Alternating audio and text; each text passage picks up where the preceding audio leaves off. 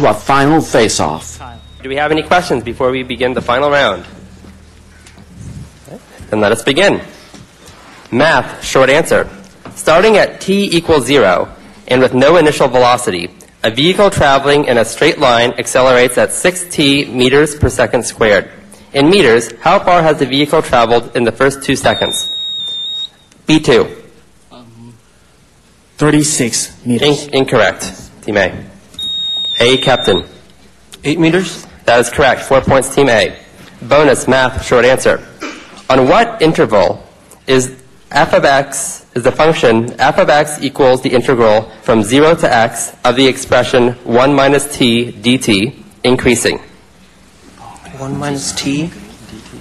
Oh, the derivative is the derivative of negative 1. 1 minus x to the derivative? No, it's the derivative negative 1, right? So it's decreasing. It's just one sheet.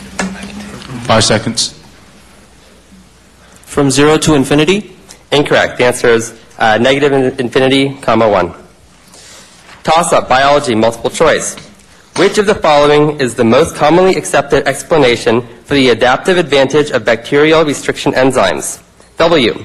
Protection against viral infection. Interact B captain. W. Correct. Four points, team B. Bonus, biology, multiple choice. Which of the following would most likely be a restriction enzyme recognition site? W. C, G, G, T, A, C.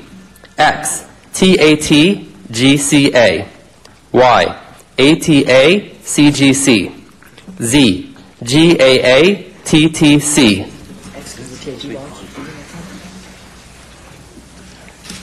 Where is it coming from? I, I don't know. That's what Or is it GCG, like the one with three G's? Uh, see. Z. That is correct. 10 points, Team B. Toss up, physics, multiple choice. Which of the following is the best explanation of entanglement in quantum mechanics? W. All events in a local system are linked. X. No two particles, particles can occupy the same quantum state. Y. Compton scattering. Z. Uh, interrupt B3. Z. Correct. Four points, Team B. Bonus, physics, multiple choice. Which of the following is the most consist- is most consistent with the principle of complementarity according to the Hopen- Ho- Copenhagen interpretation? W. No quantum event is local. X. Energy and matter are interchangeable. Y. A quantum particle can manifest itself as either a wave or particle, but not both simultaneously. Z. There are hidden variables that complement and explain the illusion of the indeterminate nature of the quantum world. It's not supersymmetry, is it? Okay, what do you guys think? It's either like Wait. Why is it not Y? No, why is it not I don't know. Okay, give me some. Five seconds. Why? Correct. 10 points, Team B. Toss up, chemistry, short answer. What is the Van't Hoff factor for a non-electrolyte such as sucrose? B1. 1. Correct. 4 points, Team B. Bonus, chemistry, short answer. A glucose solution has an, has an osmotic pressure of 30.0 atmospheres at 300 K. To the first decimal place, what is the molarity of the solution? 30 over 24. Yeah. The first decimal place. 1.25. 1.25. To The first decimal place, 1.3. 1.3. That is correct. 10 points, Team B. Toss up, math, multiple choice. The theorem of Pappus is used to, to calculate the volume of a solid of revolution generated by rotating a plane figure about an external axis. To apply the theorem, the area of the figure must be known, and what other quantity? W. The figure's minimum distance to the axis. X. The figure's maximum distance to the axis. Y. The figure's centroid distance to the interrupt A captain. Z. Incorrect. Four points, Team B. I'll repeat it. Math, multiple choice. The theorem of Pappus is used to calculate the volume of a solid of revolution generated by rotating a plane figure about an external axis. To apply the theorem, the area of the figure must be known and what other quantity? W. The figure's minimum distance to the axis. X. The figure's maximum distance to the axis. Y. The figure's centroid distance to the axis. Z. The figure's arc length. B1. X. Incorrect. The answer is Y. Toss up, general science, multiple choice. Uh, Which- just to clear. General science, multiple choice. Which of the following instruments was used to first detect the cosmic microwave background radiation? W. Space-based infrared spect- spectrometer. X. Ground-based infrared spectrometer. Y. Ground-based radio in- interrupt uh, A captain. Y. Correct. Four points, Team A. Bonus, general science, short answer. Name all of the following four fabrics that will soften and or dissolve when exposed to nail polish remover. Acetate, wool, ramie, silk. Alright, so.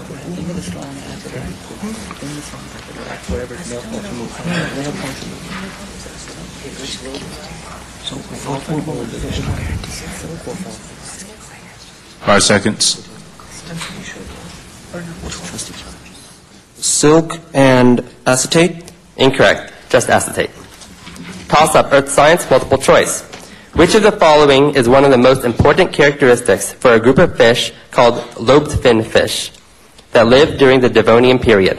W. They were able to turn a portion of their stomachs out through their mouth and thus digest food outside their bodies. X. They had a shell-like covering that rigidly stood up into seafloor sed- sediment.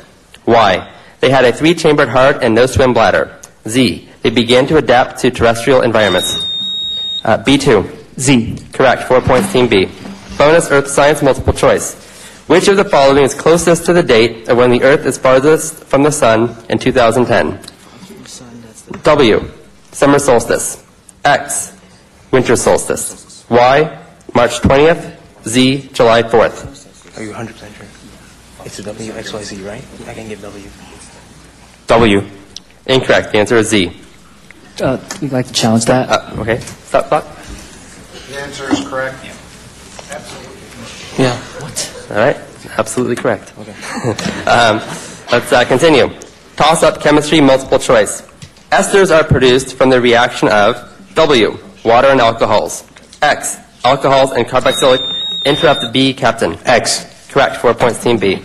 Bonus chemistry short answer. Find the change in enthalpy in kilojoules for the following reaction.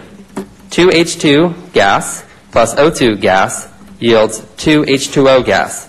Assume the bond energy of the HH, uh, OO, and OH bonds are 400, 435, 500, and 460 kilojoules per mole, respectively. breaking tree H2 70 and then also use uh, 1370 and uh, 460 times 2 uh, 9 Five seconds. What is it? Positive 75? Positive 75. Incorrect. The answer is negative 470. Toss up biology multiple choice. Which of the following best describes the density gradient centrifugation?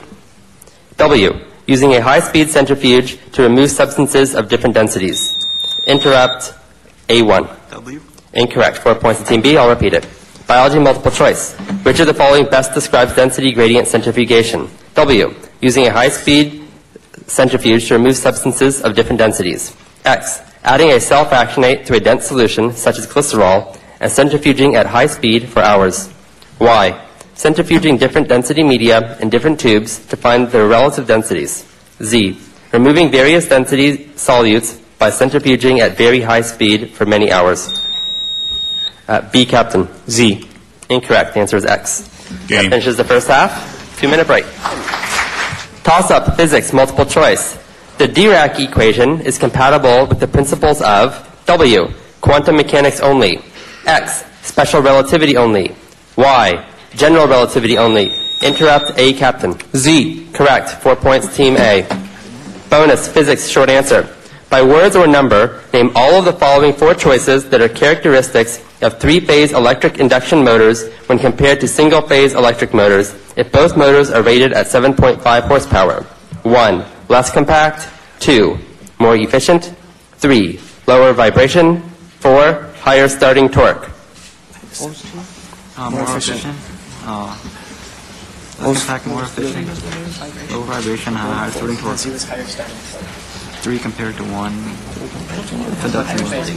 I'm guessing more efficient. Five seconds.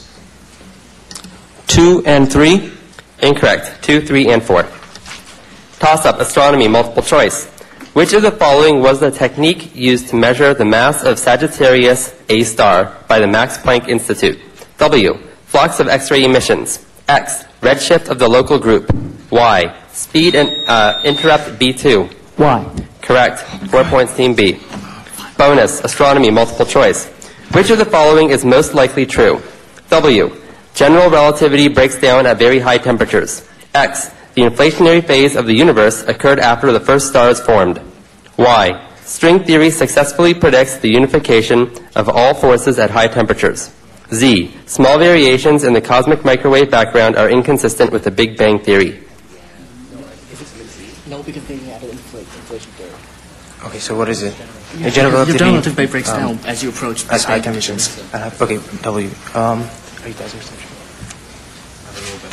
Okay, we're going to W. W. Correct. 10 points, Team B. Toss up. Earth science, multiple choice. Most of the world's desert and steppe climates are located closest to which of the following? W. The poleward edge of the Ferrel cell. X. The poleward edge of the Hadley cell. Y. The equator. Z. The poles. B1. X. Correct. Four points, Team B.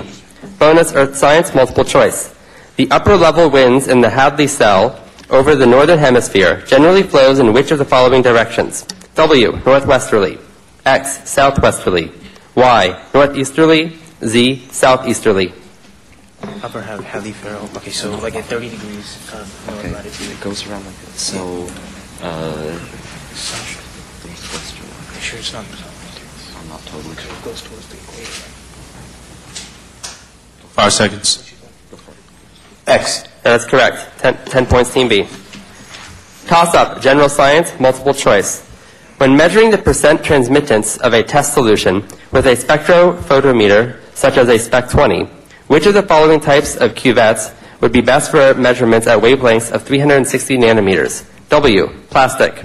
X. Borosilicate. Y. Aluminum. Z. Fused quartz. A. Captain. Y. Incorrect. B1. X. Incorrect. The answer is Z. Toss up. Astronomy. Short answer.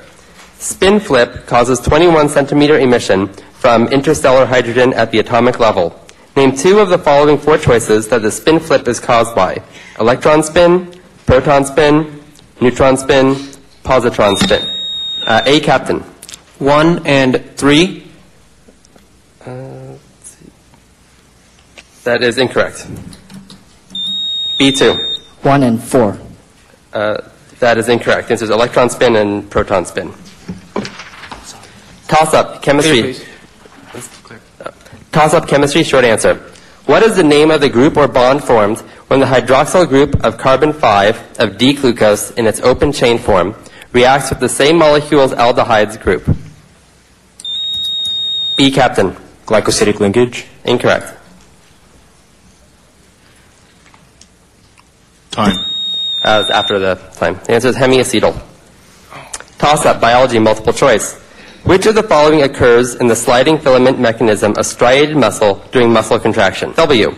The length of the A band remains constant and the length of the sarcomere can only decrease.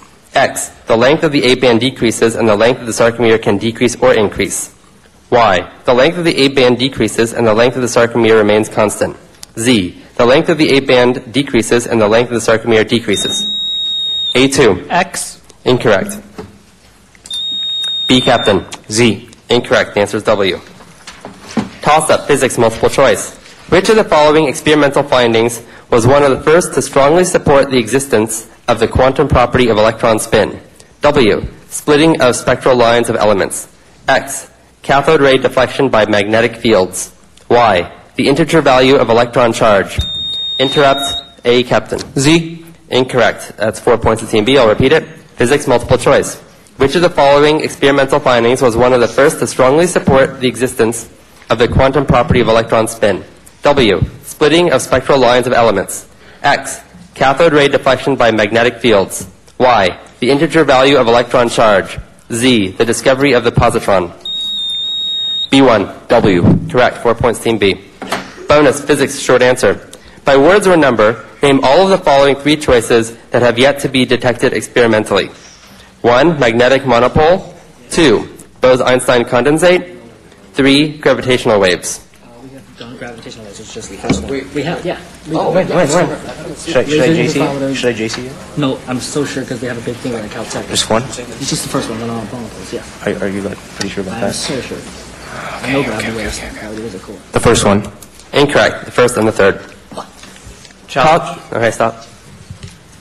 Is it a challenge? Yes. Um, I'm pretty sure they've um, detected gravity waves from like rotating binary pulsars, and so it, it, they have been detected experimentally. We don't have a confirmed detection that- that's reproduced and accepted. Your coach will explain why you're wrong later. All right. No change, uh, challenge is over. Okay. Thank you. Toss up Earth science multiple choice. Most of the meteorites that strike Earth are which of the following types? W, pure iron. X, iron nickel. Interrupt B1. X. Incorrect. Four points to Team A. I'll repeat it. Earth science multiple choice. Most of the meteorites that strike Earth are which of the following types? W, pure iron. X, iron nickel. Y, chondrites. Z, achondrites. A, Captain. Why? Correct. Four points, Team A. Bonus Earth Science multiple choice. Which of the following is not part of the Milankovitch theory for the triggering mechanisms of glacial, interglacial climatic events of the Pleistocene? W. Lunar libration. X. Earth's orbital eccentricity. Y. Precession of the equinoxes. Z. Angle between Earth's axis and a line perpendicular to the plane of its orbit around the Sun. Y. Incorrect. The answer is W. Toss up math, short answer. How many of the following four functions are odd functions? Cosine 3x, natural log x, e to the x, e to the x cubed. Uh, A, Captain. Cosine 3x? Incorrect. B1. None of them. That is correct. Four points, Team B. Bonus math, short answer. Two squares are placed next to each other to form a rectangle. What is the ratio of the length of the diagonal of the rectangle to the length of the, of the diagonal of one of the squares? Root 3 over 2? Root 3 over root 2? So that's just Why is it root 5? two and five. Okay, so square root of root, okay. Over 2? Square root of 5 halves. Uh, that is correct. 10 points, Team B.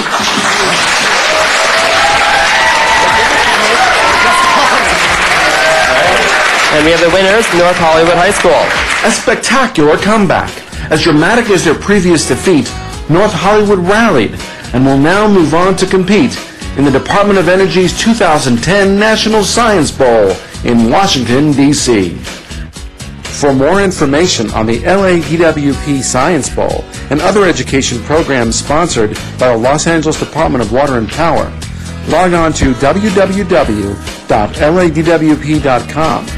and click on Community Involvement and then LADWP in the school.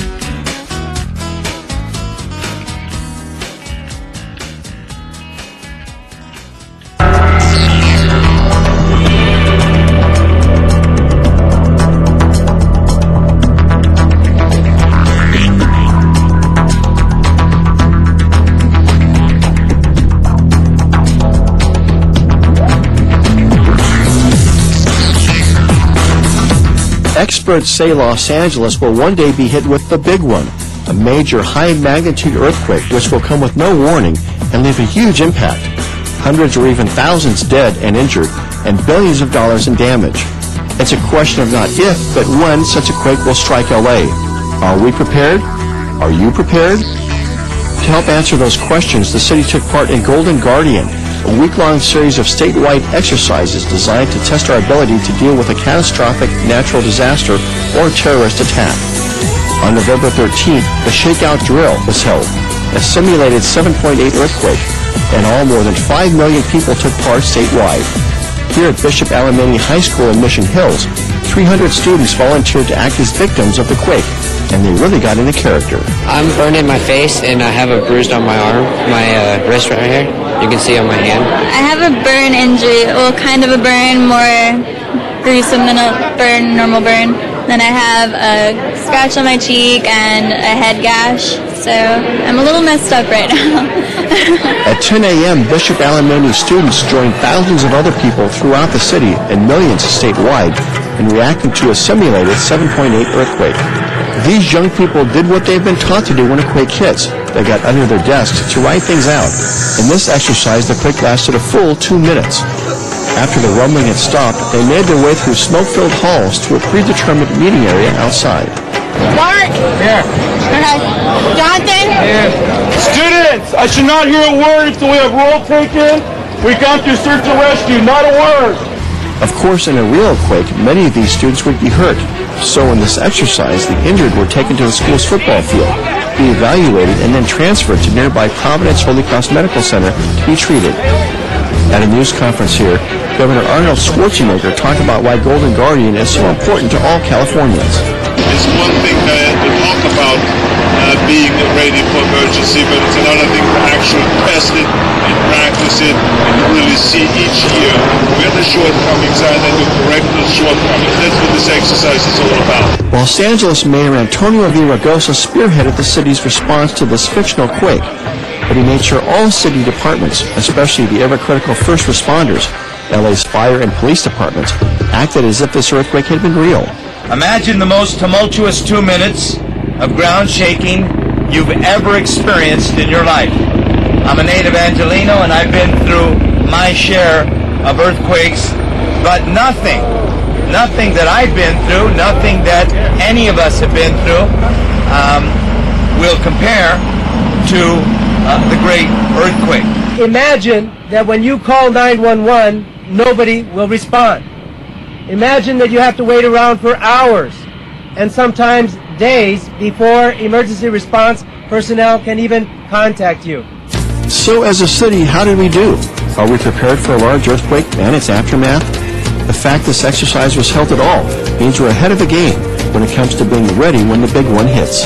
We can talk about preparedness, but unless uh, you actually uh, physically uh, pr- uh, prepare for uh, an emergency of this nature, you really don't know well, what comes up, what are the problems, uh, where are the kinks, uh, what, what do we have to work on, where are we strong. succeeded beyond our wildest uh, expectations. We've ended up with 5.3 million registered participants. I think a lot more people heard about it through the news, and it's uh, we're trying to get the community to think about the earthquake problem. It's really easy to try and pretend it doesn't exist because they don't happen that often.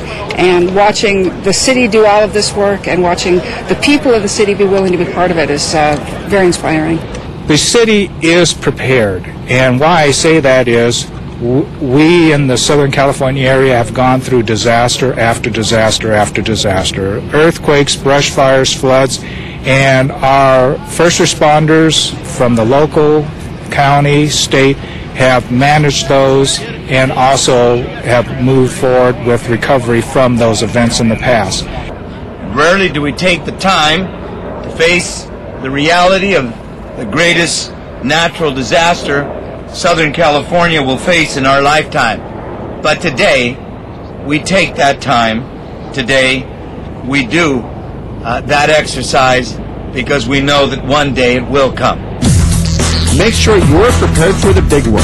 For tips on how you can get ready for an earthquake or other natural disaster, log on to www.readyla.org.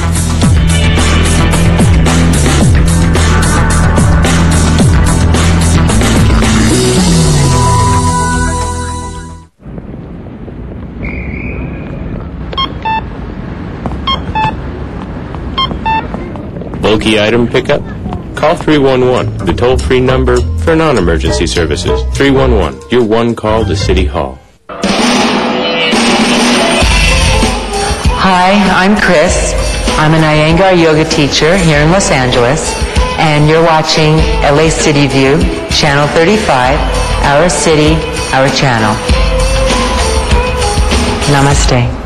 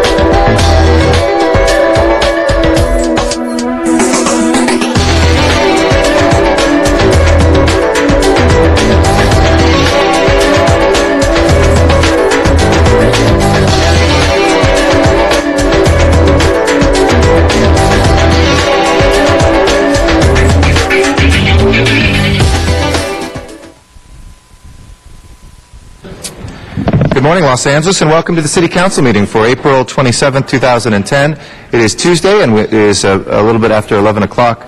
Uh, we did start an hour late uh, because of the funeral for um, former Chief Daryl Gates, and I know a number of members are returning as we speak from that funeral. I want to thank those council members who are here already, council members Alarcon, Cardenas, Krekorian, Perry, Reyes, Rosendahl, and Wesson. Thank you for your attendance, and the following council members are late. Council member Hahn, Koretz, LaBonge, and Smith. Ms. Hahn and Mr. Zine are excused today, and Mr. Parks is excused to arrive late. So if they will please join us as soon as possible, we will begin our meeting uh, shortly. Uh, we have uh, before us the agenda for today. That's made available 72 hours in advance or 24 hours in advance uh, for our special meeting items. That's here in council chambers. It's posted in City Hall um, and also is available online at lacity.org um, where you also find links to our city departments and our city services to improve the quality of your life here in Los Angeles. We also do have uh, this meeting broadcast live on Channel 35, uh, rebroadcast each evening uh, on the city's cable system, and we are available online streaming webcasts through lacity.org and through your telephone by calling 213-621-CITY, um, and you can listen into the audio proceedings of the full council or any of our committee meetings using your telephone. Uh, if you would like to be heard on any of the items that are on today's agenda, please uh, fill out a speaker card here, or if you live closer to San Pedro and Van Nuys, you can fill out a card and uh, you can testify from those remote locations. Um, items that have already had public hearings would require reopening of those hearings by council member, but items that have not yet had a public hearing, you automatically would be able to be heard here. Um, there is a podium and a clock to help you guide your time, and uh, for any general public comment on items that are not on today's agenda, but nevertheless under our jurisdiction, you can fill out a speaker card too for two minutes before the public.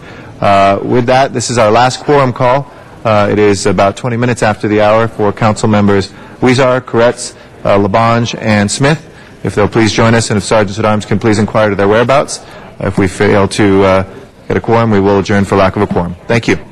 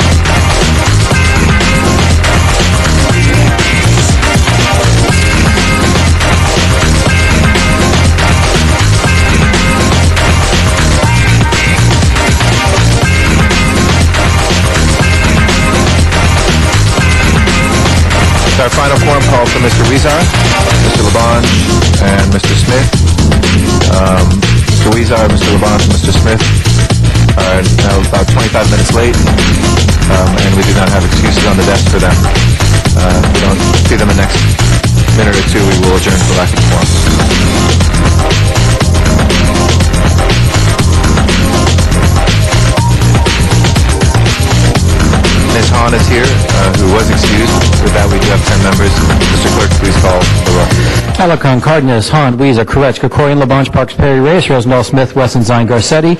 Ten members present and a quorum, Mr. President. All right, first order of business, please. Approval of the minutes. All right, Mr. Wesson moves and Mr. uh, Rosendahl seconds. Without objection, those will be approved. Next order of business. Commendatory resolutions for approval. Mr. Reyes moves, Mr. Krekorian seconds. Without objection, those will be approved as well. Next order of business. This is Tuesday, and it's time for the flag salute. All right. If I can ask everybody to please uh, rise. And Mr. Rosendahl, would you be kind enough to lead, lead us in the Pledge of Allegiance? Yeah, please stand and put your right hand over your heart and say after me. I pledge allegiance to the flag of the United States of America and to the republic for which it stands, one nation, under God, indivisible, with liberty and justice for all. Thank you, Mr. Rosendahl. Next order of business, if we can run through the agenda, please. First items on the agenda, items 1 through 4, are street lighting ordinances notice for public hearing. Council should have 12 members. Do you wish to hold those on the desk? Yes, please. Let's hold those on the desk till we have 12 members. We're still awaiting Mr. Huizar um, and Mr. Smith and Mr. LaBonge. Yes, next order of business? Items Next items? 5 through 9 are items for which public hearings have been held. Okay. Uh, Five through nine, colleagues, anybody wishing to call any of those special? If not, let's go ahead and please open the roll, close the roll, and tabulate the vote. 10 eyes. Those are approved. Next items, please. Items 10 through 19 are items for which public hearings have not been held. 10 votes are required for consideration. There is a request to continue items 17 and 18 one week to May 4th. Okay, let's continue those without objection. Sorry, Oh, sorry. Four- 14, sorry. Uh, 14 for Ms. Perry. And we have cards on, There are cards on items 11, 12, 13, 15, 16, and 19, leaving only item 10, which is an ordinance. Do you wish to hold that? yeah, let's hold that on the desk for 12 members. Next items, please. On the continuation agenda, items 20 and 21 are items for which public hearings have not been held. 10 votes are required for consideration, and there are cards on both of those. Okay, uh, let's go ahead and call those special for cards from the public. And that will take us to our general public comment now. I'd like to invite uh, Dr. Clyde Williams forward as our first uh, speaker for general public comment. Dr. Clyde Williams, 4115 Barrett Road, El Sereno, Northeast LA. We just had a meeting on ECAF, but I won't discuss that. I'll discuss he. How about the new interim acting general manager of DWP? Is he going to be more transparent than the previous ones? I doubt it, because there seems to be a big snow job that DWP does. This morning, no one could figure out what had happened between the Board of Water and Power and the City Council as to, do we have rate increases or not? Why? Because DWP doesn't clearly state, here's how much it's costing us now, here's how much it's going to cost us over the next one year, and here's how much it's going to cost us to the year 2020 when we have to get rid of coal and convert it to something else. Even the geothermal has apparently been found to be unusable. So we have a problem. DWP doesn't tell us what they're doing. Will the new general manager provide us with transparency? I kind of doubt it because he comes from a corporate world which does not allow public participation except through the board, through the stockholders' representatives. And we know what happens with Goldman Sachs. So I would highly recommend that you apply 245 to the appointment of the interim general manager for the Department of Water and Power and make sure that he's going to make it much more transparent and comprehensible because even one of the commissioners from the Board of Water and Power once said, if I can't understand it, how can I tell anyone else what it's doing? Thank you. Thank you very much. Bill, who is our next speaker? After that will be John Walsh. Good morning, Mr. Reed. Uh, Good morning, uh, ladies and gentlemen of the LA City Council. I just want to bring your attention that the council is considering a 0% rent freeze, that landlords cannot raise their rent. This is terrible because more and more landlords are being driven out of business in Los Angeles. As they sell their buildings, developers are buying these properties, they're tearing them down, and the working poor are losing their apartments. It sends a very severe anti-business message. Right now, jobs are leaving LA, more people are becoming homeless, and also the city employs these outside activist organizations through the LA Housing Department that come to apartment buildings and teach tenants how to sue their landlords. This is, this is discrimination. These activist organizations are tied into law firms. You're driving business and you're driving jobs out of LA. I suggest break all the contracts with these outside activist organizations and use that money to keep more city employees in the job. You have a lot of hardworking city employees deserve to keep their job and not lose their job. And also, regarding Olvera Street, the city council stated that as a landlord, they're entitled to fair market value rent, yet they don't allow landlords in LA to have fair market value rent. You can't have it both ways. And then they want to raise the rent on these small businesses from 100 to 500 percent. I mean, that's criminal. You're going to drive these people out of business. I mean, you know, ideology is one thing, but in the real world, you know, social problems are not solved by creating more laws. You have to have fairness for the workers, you have to have fairness for the landlords, and for the renters. And when you corrupt the equation, the end result is always corrupted. So don't put the Olvera Street people out of business. Cut the contracts with these outside activist firms that pretend to be something they're not, and help keep small landlords in business so people don't lose their apartments. Thank you very much. Thank you, Mr. Hewitt. Uh, John uh, uh, Walsh is next. After that is Martin.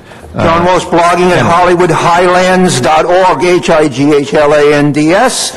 One half million visitors since September 3rd of last year. All we are saying is give peace a chance. All we are saying is give recall a chance.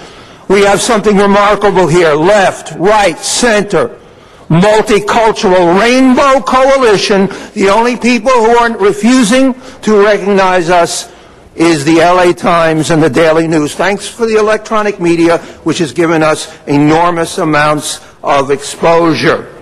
There was a Nazi rally, here. Only four self-identified anti-Nazis, four self-identified Jews. Melrose Larry Green, a man with the, uh, with Star of David tattooed to him, a woman with Jewish uh, Federation of Labor Council uh, sign, and uh, one other person with, uh, with a Israeli flag draped around him. There were six people identified as Aztecs. In the city of Los Angeles, they were wearing Aztec dress. When you have a Nazi rally and more Aztecs show up than Jews, only in Los Angeles, and it was not covered. The lying LA Times said that, that Nazis were severely beaten. The AP said light hurt, they were uh, moderate beating, light beating. I'm telling you right now, HollywoodHighlands.org, the name of the heckler gates, the name of the gay heckler organization that attacked the, the mayor. I mean, excuse me, the, the president of the United States. I said it was on the website Friday. It wasn't. We had uh, problems putting it up. If you want to know what went on when the president of the United States was treated like trash by hecklers, you have to come to my website. It's on there today, HollywoodHighlands.org. And as to you Nazi tolerant, Sieg Heil! Nazi tolerant Garcetti. Seek Our next speaker is Martin Hanelin. After that is Phil Jennerjohn. If I can ask folks, please sit down, yes? Thank you. Hello, my name is Martin Hainline. If you look me up on Google, I'm a pedophile. If you pull up the case, I'm nowhere on it. Because I went and helped out the Justice Department when they wanted information on the murder of a woman in Riverside by the Riverside Police, that's how they repaid me. Father Gregory, this cardinal, and this mayor have worked very hard and diligently to keep this story from being told. SNAP was compromised. Mary Grant was entertained by a sergeant out of Orange County, protecting that crooked uh, police chief down there who had this investigation started all these years ago to protect Henry and George Steinbrenner from my past. If this seems very disjointed, it's because I don't have enough time to tell all this story here. I am not going to be abused anymore by your police department, who put a camera in my room, recorded me and my girlfriend, listened to many conversations, then removed it, and she was raped. I don't know where she is now. I don't want to start something more with the LAPD, but I do want their help. And I would like Ms. Jan Perry to know I stood in the rain for an hour and a half to talk to you in 2006. Beside me was an undercover police officer. When I finally got up to you, the captain from Central pulled up, came in, took you out the back. This has been the ongoing story because of the illegal wiretaps, cameras, and the undercover police officer working in my building. Thank, you. Our next speaker is Phil Jennerjohn, and after that we'll go to uh, Van Nuys, and Donna Pearman will be our next speaker. Uh, good morning, council members. My name is Phil Jennerjohn. I'm currently a candidate for U.S. Congress in the 33rd Congressional District.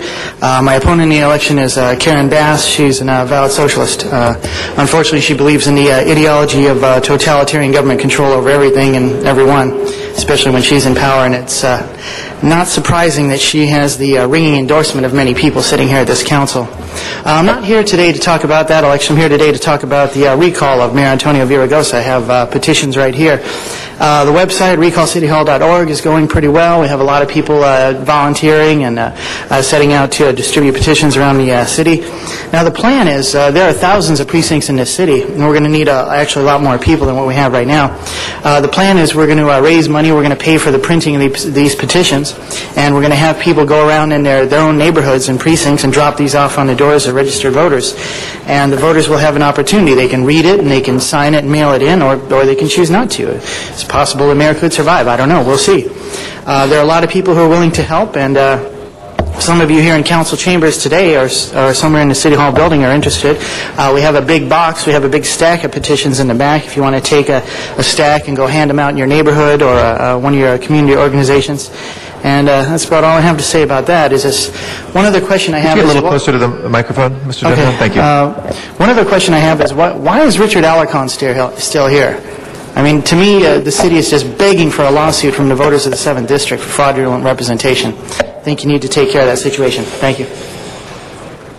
Our next speaker is Donna Pearman. She's in Van Nuys. After that, Arnold Sachs back here in council chambers. Good morning, Ms. Pearman. Good morning. Anyway, Mar- Maren Fogler couldn't be here. She's not feeling well. I miss I miss her inside, but she'll be back. Now, the city council wants high pr- uh, high priced rail.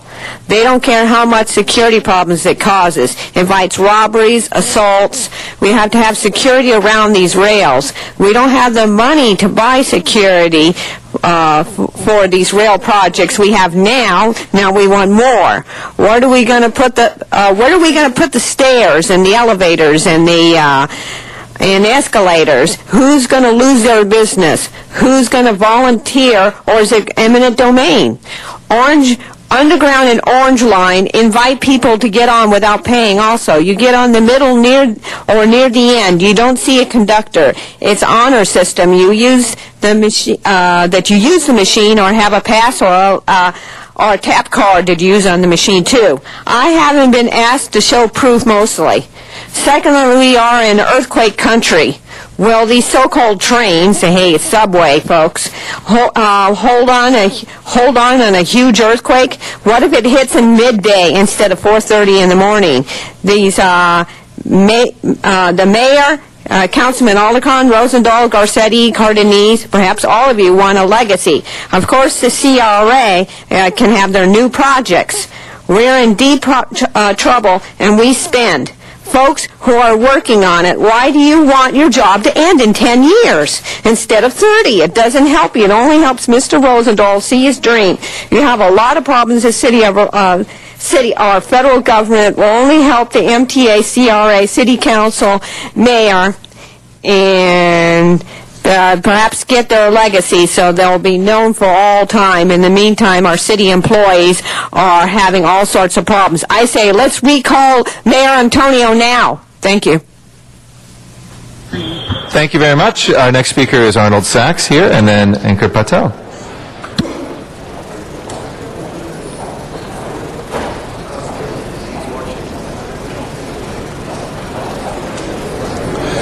Morning. Thank you. Arnold Sachs. I'd like to give a shout out to Zuma Dog. Hope he's well.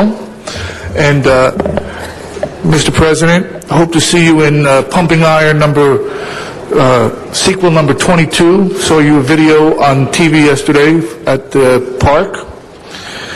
That being done, uh, there was an article in the uh, LA Times on the 10th or the 16th. Audit rips fire department discipline. And I was just wondering what's up with the fire department. States in his article, in 2006 there were 3,600 members. But the article goes on to say that there are more than 1,600 complaints filed in the last two years. So what's wrong? That's almost one out of every two firemen are filing a complaint against the city. What's the cost to investigate these complaints? What the heck is going on with the fire department that there's 1,600 complaints, one out of every two? By the way, in this article on the March 16th, 24% in state lack health insurance. I wonder how many of the people who are um, under the auspices of the living wage law lack health insurance. You know, the one where they get an extra dollar twenty-five, unless they work at the airport, where they get three twenty-five extra, and the companies let them are, are allowed to eliminate their health insurance coverage. An outstanding plan put together by the city council. And then finally, the mayor recently has come out with his budget. And in his new budget, he mentioned that there's going to be almost a total of around 4,000 people laid off. And people were asking the questions was, how come, why do we get such wildly um, skewed numbers, 3,000, 8,000, 4,000, 6,000. He said, we go with the information that we were given. So when he was given the information back in 2008 and 2006 that the city was going to be in financial difficulties, why the hell did he give raises to the Ankur unions? Patel is our next speaker, and after Mr. Patel will be Matt Dowd. Good morning. Good morning. My name is Ankur Patel, and I'm a concerned citizen. Now, there is discontent among the people. The people are discontent because we have a mayor who is more willing to cut funding to libraries and parks than his own personal staff. Right? The mayor's department, the salary is $21 million. The councilman's department also has a salary of $21 million. Austin Beutner, the new interim manager of the DWP, was a deputy mayor of Antonio Villaraigosa. You guys need to look into that. There are some connections there that are very fishy, at the very least. Now, Council President Garcetti and Perry are on record as saying that they, you don't trust the DWP. We don't know what they're doing. They have many projects, and they list these projects by one line. They have a number, a reference number. They say information technology, $16 million. And then they have a reference number. These reference numbers, if we made them more accessible, we would know what these projects are about. And throughout the budget, they have hundreds of projects with reference numbers, one line, without any detail. If you're talking about transparency, we need to get a hold of these reference numbers and get more information on these projects that they're running. Now again, the city council has 108 approved positions. I don't know what that means. I thought I only, as a, as a voter, we only approved 15 positions. These other positions should be made public and visible. So now I call on you, councilmen, to how about let us know who your staff is, how much they're getting paid, what their duties are. Because we can't ask the mayor that because he's just going to say no. Now, out of you councilmen, maybe one of you guys would have the, the guts to make your own staff transparent to the people. Because that's what we want. We want to see who's representing us, what they're doing, how they're helping us. Because it's not the job of the government to employ people. It's the job of the government to make sure that private companies create employment, to govern the competition, to make sure that it is fair. Thank you, Mr. Patel. Matt Dowd is our last speaker for general public comment.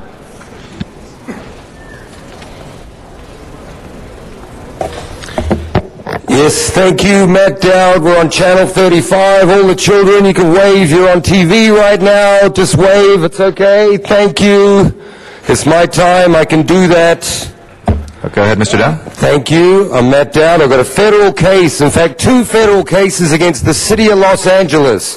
The first one is five years old coming up. It's over my instant. Here's the case number. It's on my new banner, which will be at Venice Beach. That's my new banner. My own design, creative design, children. If you do creative design and you go out on Venice Beach, the police come and arrest you now. I got 14 arrests for Pacific Breeze and then for playing guitar. Being artistic is a crime in the city of Los Angeles. And I've been arrested 14 times over it. See, but that's not a big issue. I don't even want to talk about that. I want to talk about the problems that the city is giving these children. The, see, the city doesn't have any money. There's no nest egg. They don't have any money. Right now they owe $4 billion in debt, which is the worst form of poverty, children. Let me tell you, make a nest egg, save money, stay away from the big banks, because right now, see, let me talk about that. The city of Los Angeles, they used to have a piggy bank with $5 billion of all the retirement money, but they got scammed by Wall Street and, and the credit ratings, they're trying to blame the credit ratings, but the credit ratings, and listen to this city council, the credit ratings, because you're involved in this, the credit ratings were with those banks that were too big to fail. That's why they got the good rating, because they were too big to fail. Now, what you need to do is get AEG in here, because they're broke. Meruelo Maddux just had to sell their big condo tower at a massive loss. Thank the you, Mr. city's Dowd. Broke. your last public comment. And Mr. Koretz, if you'd like to make an introduction of the fine young students that are here. Well, although they already got partially introduced, uh, I'd like to introduce the third grade class, uh, room 12 and 13 from Wonderland Elementary. If you could all stand up, we'll recognize you.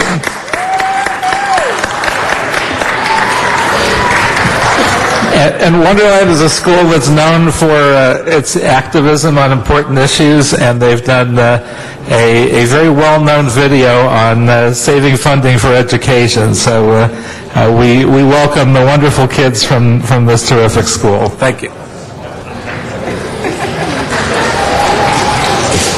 Thank you very much, Mr. Koretz. If we can go to uh, the items we were holding on the desk for 12 members, the first four items first. Actually, Mr. President, there's a card on item one, so it'll Okay. be items two, three, four, and 10. Okay. If nobody wishes to call those special, let's open the roll on those, close the roll, and tabulate the vote. 14 ayes. All right, that is approved. Let's take up item one. John Walsh, if you'd like to come forward on item number one.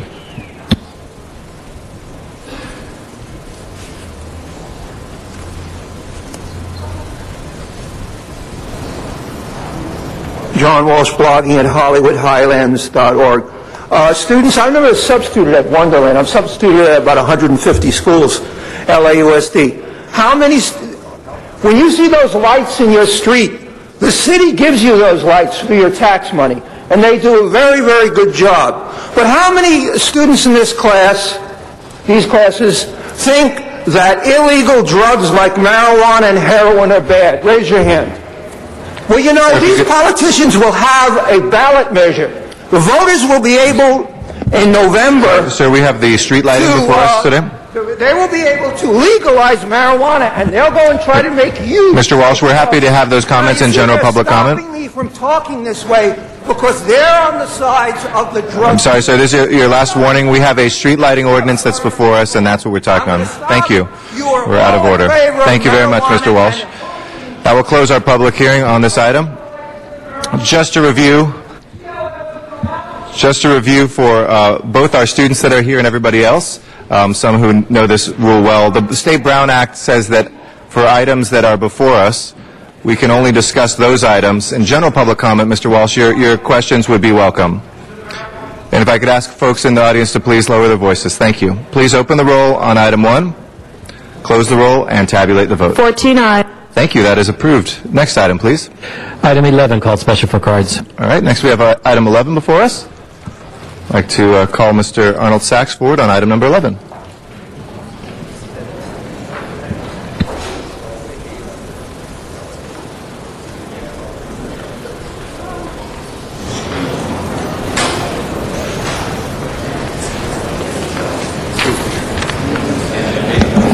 Item number 11, good morning, thank you. Item number 11 is dealing with a street light, maintenance for the C and Figueroa Street Lighting District.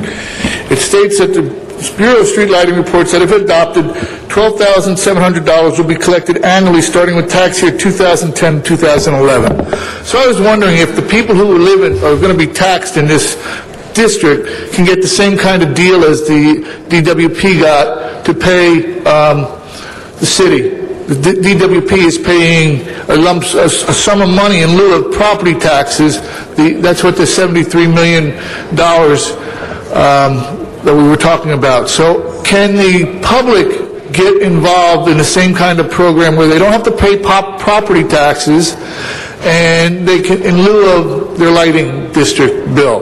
Because I'm sure that they would like to be able to pick a sum that would be relative to their benefit and pay it to the city like DWP. Thank you. Thank you, Mr. Sachs. That'll close our general public comment for that item. We can please uh, open the roll, close the roll, and tabulate the vote. 14 ayes. That is approved. Next item, please. Item 12, called special for cards. All right, item 12 is next before us. John Walsh, if you'd like to come forward. This is on the uh, street lighting uh, at Lancashire and Killian. One minute. Hollywood Highlands, come to my website, Hollywood Highlands, H-I-G-H-L-A-N-D-S dot org. Again, this is maintenance of Killian Street and Lancashire Boulevard, lighting district. You see the police, they're your friends. They're not har- harassing me, are they, when I talk about lights? But the minute I say drugs are bad, these politicians up there will have me arrested.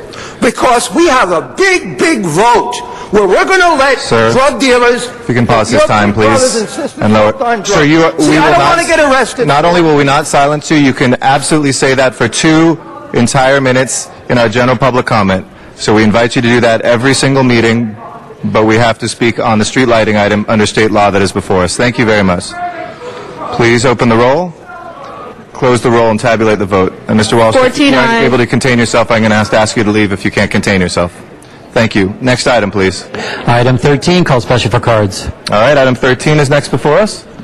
Matt Dowd, item 13.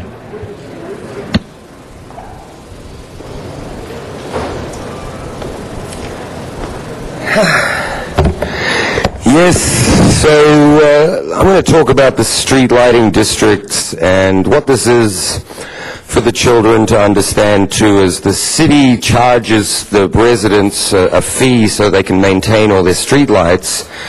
But here's what's happening in the city is that the street lights will not be repaired, the streets won't be repaired because the mayor is intent on only keeping services in the city that raise revenue because that's a fundamental necessity. No, it makes sense. If you've got no money and you're $600 million in the red every year because the pension money has to be paid, then naturally we're going to we're going to chop libraries, kiddies. We're going to chop the libraries first. You can check that they've already done it. We had all the librarians in here. I talked about it. But the street lighting thing that we'll get back to now, that's not going to happen. The maintenance. So the best thing is for the people in the community to vote no for these because the city, until it restructures its financial problems and the, and the global, you know, you all fell into it. We told you not to follow all the other cities. We warned you about the subprime market. It was all a big scam, and we said, don't invest in downtown. Don't go to the, no one wants to live here. The affordable thing's not going to work. You could bring it back to the lighting district, please. And after all the loss, the things they're going to suffer are the street lights and the street maintenance and, and the police eventually are going to suffer too. But they're going to take all your trash collection money, so the trash is not going to get picked up because we need the police first. So just get ready for police only, and all the people out there, don't expect the city to clean things up. It's time you get out on your own street and clean up the street for yourself now for once, because you voted these people in, they're the bad politicians, and they wrecked it, and it's over. Thank you. Just a reminder that if we can keep things to what is before us, and the street lighting, by the way, is paid for, just a point of information, independent from the general fund. This is a, a self-assessment on the, by the property owners. We can open the roll, close the roll, and tabulate the vote, as is the maintenance. 14 ayes. Next item, please. Item 14, called special by Councilmember Perry, and an amending motion has been circulated, and there are cards on that. All right, Ms. Perry, do you want to hear the cards first? We have four cards from the public. Oh, okay, yeah, Okay. go ahead. Uh, Donna Pearman is our first speaker in Van Nuys. Good morning again. Yeah, good morning. CRA has $615 million and it's growing. They have enough to pay for all the green projects so people won't have to do it on the race for DWP.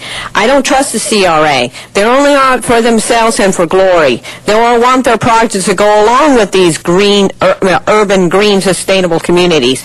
They will get those extra projects so people can see those green sustainables from office buildings, condos, and affordable housing apartments. They will not have enough only for these green sustainable, they will only ha- uh, not have enough only for those green sustainables, which will come out of their budget. But the projects around it, they will ask and receive from the city council. Haven't people learned yet about the uh, Community Redevelopment Agency, the CRA? Of course, they'll get help from the city council. They must do things to help councilmen's legacy. Yet sometimes they do good things, but at what cost? It proves to be a lot of money for grant consultants when our city is in deficit. We don't choose these projects, we don't get, we don't choose if these projects are what we want, or it's another useful study to archive in somebody's portfolio. You ask me. Thank you. Thank you, Ms. Pearman. Arnold Sachs is next. After that will be John Walsh.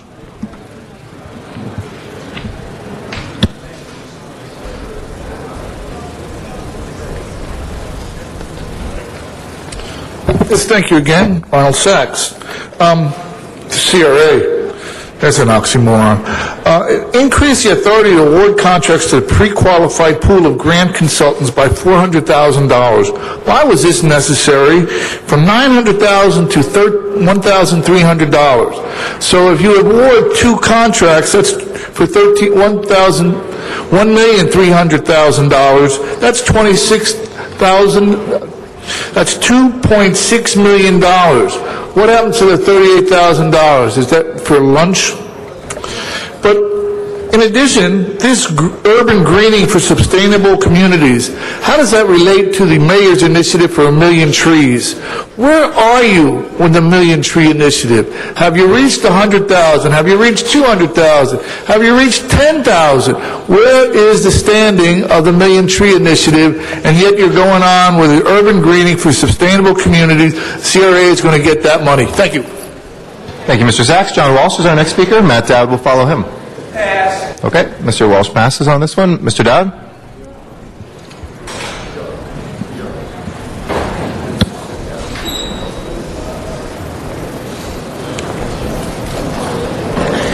Yeah, I'll waive this one, thank you. All right, Mr. Dowd passes as well. That will close the public hearing. Ms. Perry, I'd like to recognize you uh, on this item now.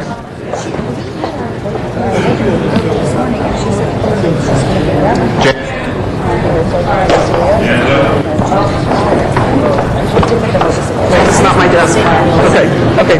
Thank you, Mr. President. This is just a technical amendment, um, that's all. And I would ask my colleagues to uh, join me in moving the Chief Legislative Analyst report and adopting that as amended. Thank you. All right, with that as amended, please open the roll, close the roll, and tabulate the vote. 14 ayes. We'll send that forthwith without objection. Next item, please.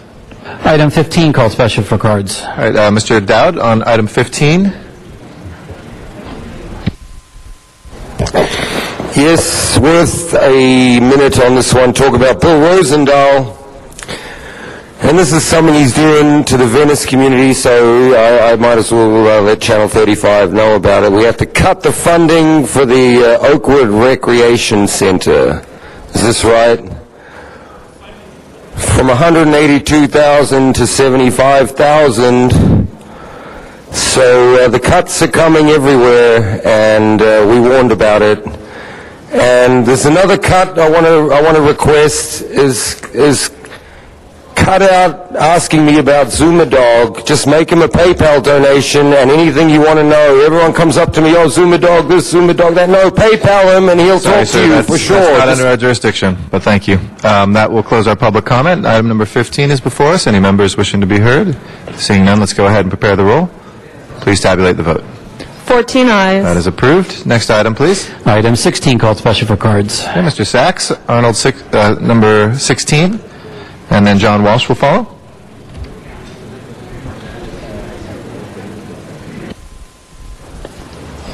Yes, thank you again, Arnold Sachs. I imagine this item reimbursing the Los Angeles Department of Transportation uh, for traffic management has something to do with the fact that last year, the council acted to rescind the special uh, status for the seven arenas in L.A. that were getting free traffic management for events.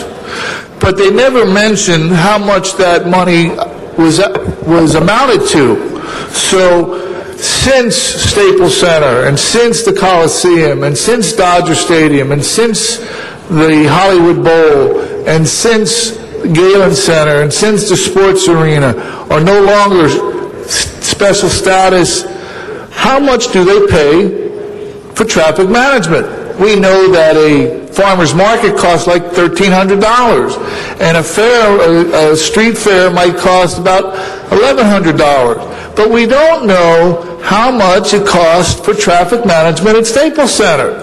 Can't you tell us? Don't you know? I mean, it was eight years, no, it was longer than that. It was nine years before you acted, three budget deficits, and you finally decided to act. I think the public deserves to know how much money was given away, in, all in the name of championships and cut services and reduced hours and furloughs and on and on, and yet we don't. You can list special events, but you can't list that. Why are you hiding those numbers? Don't you think the public is big enough to accept the fact that they got screwed? Thank you very much. John Walsh is our next speaker. All right, he passes. Matt Dowd.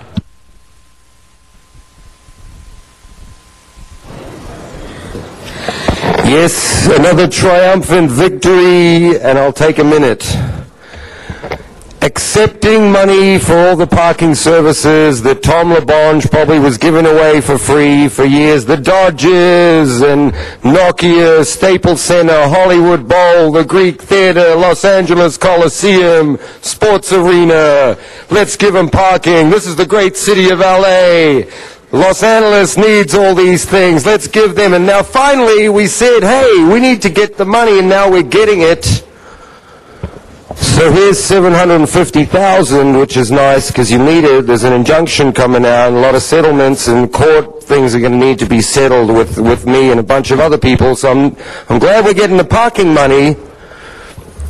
And another point I want to make is please don't sell the parking revenue. We're trying to tell you the basic fundamentals here. Don't sell the golden goose, fool. That will close our public comment. if there are no members of the council, let's go ahead. Oh, Mr. LaBonge. Thank you. I'd like to have staff come to the table.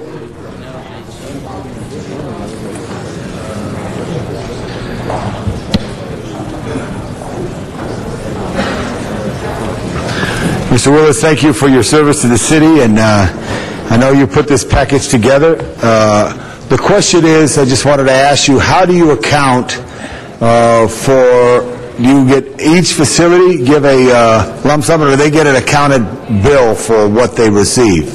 Like, there's 14 uh, traffic officers around Dodger Stadium, or the Hollywood Bowl, or the Coliseum. Do you give them an accounting, or do they, how do you keep that in line? Uh, Yes, Alan Willis from the Department of Transportation. We send every venue a detailed invoice showing how many, what people worked, how many hours they worked, what their rate of pay was, and they're required to reimburse us for their salaries. Great, so they get a def, so, but they've paid you right now? Yes, This yes. is accepted, but for each event that comes forward, they will get uh, a detailed invoice? Yes, some of them are required, uh, for example, because the Convention Center and Sports Arena uh, did not negotiate a uh, a reimbursement agreement with us where we could bill them later. Uh, What they do is they have to give us a deposit in full up front before we'll even work the event. And then that's we at the give them a Sports. Arena and where else? And the Coliseum. And the Coliseum, And okay. then, uh, and then we still send them a detailed invoice showing what our actual costs were, and we refund any unused portion of that deposit. And also, are we seeing uh, uh, private uh, services being hired? I see that near Staples Center sometimes. Do you see that at all? Yes, uh, part of the agreements that we negotiated with the Staples Center and others uh, gave them the opportunity to uh, substitute qualified... uh, Special events people yes, who would do this, which is very for- good. For DOT staff. And the issue of the buses on Highland Avenue, how have you been able to observe that, or your staff, or do you know? I know it's early in the season, they haven't started the Philharmonic yet uh, season, but... Right, so we haven't really seen uh, some good events to sort of like uh, assess that, but, but the, the thing that we're looking at is that uh, we've reviewed their plan, they are pulling the necessary street closure permits required by city ordinances, and so everything appears to be in order with their plan. And they get a full accounting invoice. Yes, they do. Thank you very much, Mr. Willis. When's your last day in uh, City Hall? Looks like it'll be June 4th. June 4th. You want to say you're going to come back before then? What? If you're going to come back, you're going to come back before the June 4th? Only if they need me for budget. If you want to say anything, I got another 23 During, the, seconds. during budget hearings, I'm sure we'll see much of him. Mr. Rosendahl. Uh, Thank you, Mr. President. Uh, We're going to miss you, first of all, Alan. You- You've been a tremendous contributor. It's one of the things I don't like about ERIP, is a lot of good people uh, are leaving us, and you're one of them. Um, What we did here, so the public understands, is go to the different venues, and and and that is Dodger Stadium, Staples Center, Nokia Theater, LA Live, Hollywood Bowl, Greek Theater, and the Los Angeles Coliseum, and the Sports Arena. Now, you negotiated these relationships to the tune of 750000 Uh, yes, that's an approximate figure, yes. Mhm. A- And if it does, and first of all, congratulations on doing that. A year ago, we had trouble for them even telling us to go pound sand. Uh, a- And then we didn't give up because this is obviously in addition to everything else, we need to keep them uh, successful and traffic control work out and all that. And I'm very grateful they've come up with the money. Uh, Do you think this is enough, 750,000? This is enough to cover the period from October 15th of 2009 through the end of this fiscal year. I'm currently preparing long-term agreements for all of these venues, uh, and uh, that's something that I hope to submit to council so they can approve an ongoing thing, and that'll be, I guess, my legacy to the city. Well, one of your legacies, there's a lot of legacies you have, and we appreciate what you've done in the 11th District. But say, for instance, Dodger Stadium, it's $325,000.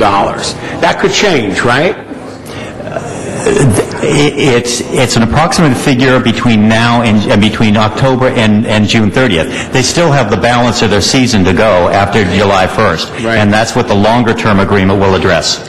And in your discussions with them over these particular fees, like the Greek Theater, 25,000, they're aware that we're coming back to try to create contracts that, that last more than just six months or a year. Right, and most of them actually, uh, especially the seasonal venues like the Greek Theater, Hollywood Bowl, and Dodger Stadium, want a- an agreement that at least spans the fis- two fiscal years. In other words, covers their entire season, from the spring to the fall. And we said, well, let's make it a longer-term one that they can be renewed uh, periodically by the council. And thank you very much. And it is revenue generating. It's going into our general fund, right?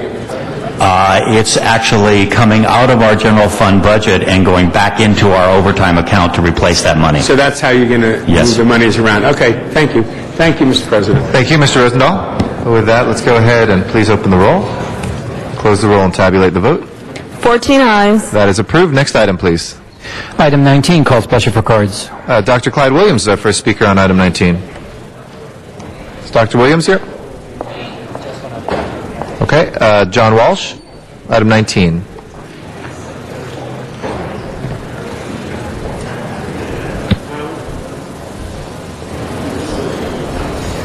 One minute, John Walsh, HollywoodHighlands.org for the latest on Obama, Hecklergate. I remember, I'm not against the city.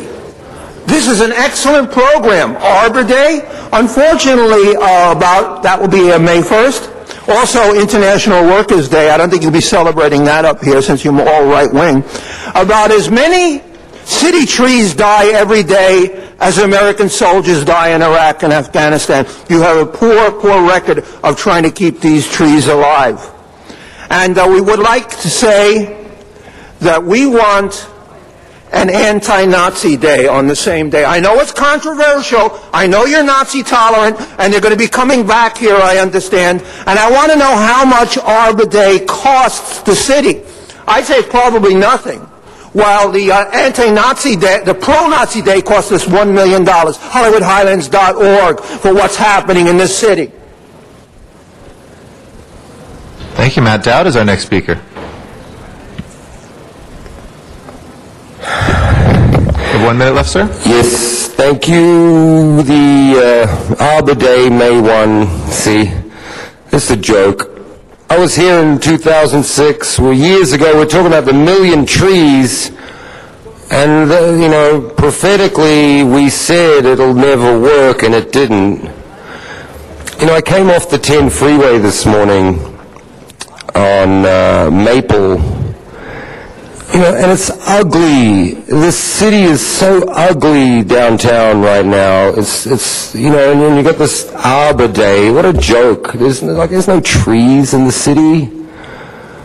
It's just all ugly concrete and empty and trash and skid row and slime and grease and dirt. And, and, uh, you know, that's the good news. The bad news is not going to get cleaned up because the city's broke, the pension, LACERS lost all the money, that's all gone, and the street services are over.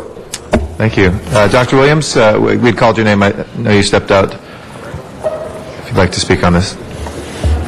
I thought 14, 15 would take longer. Uh, Dr. Clyde Williams, El Sereno, Northeast LA. Arbor Day. It's a great concept. However, in the real world, a 28-inch diameter California bay, California native plant, tree, 28 inches in diameter, like one of these posts, was cut down on a private lot, even though the city urban forestry unit knew that it was being cut down. Could they penalize the owner? No, because they just couldn't get there fast enough. So, uh, enforcement. Arbor Day is nice. You see all sorts of lovely events, but on a day-to-day basis, trees are being cut down. Every Monday, Wednesday, and Friday, the Board of Public Works has tree removal permits. What do they do? They require two trees for each one. That is, if it's 28 inches in diameter, eh, a two-inch tree will uh, be replanted for it. Times two. Okay, maybe times four. So what are we coming up with? Oh, the million trees? If you had to put in a million trees, you need 20,000 trees in place each year to meet the requirement for a million trees. Right now, street services, parks and rec, everybody put together are doing around 16,000. So forget about million trees. It doesn't exist. Forget about Arbor Day because we can't even enforce the current regulations that we have right now and penalize those people who would cut down a 28-inch California bay. Thank you.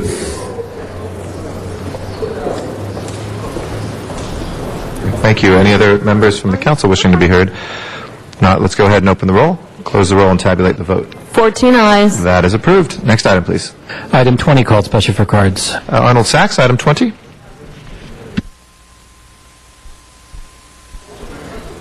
S- Sorry, sir? Did you want to speak on it, or are you waving? I can't hear you. You have one minute left, sir, on item 20.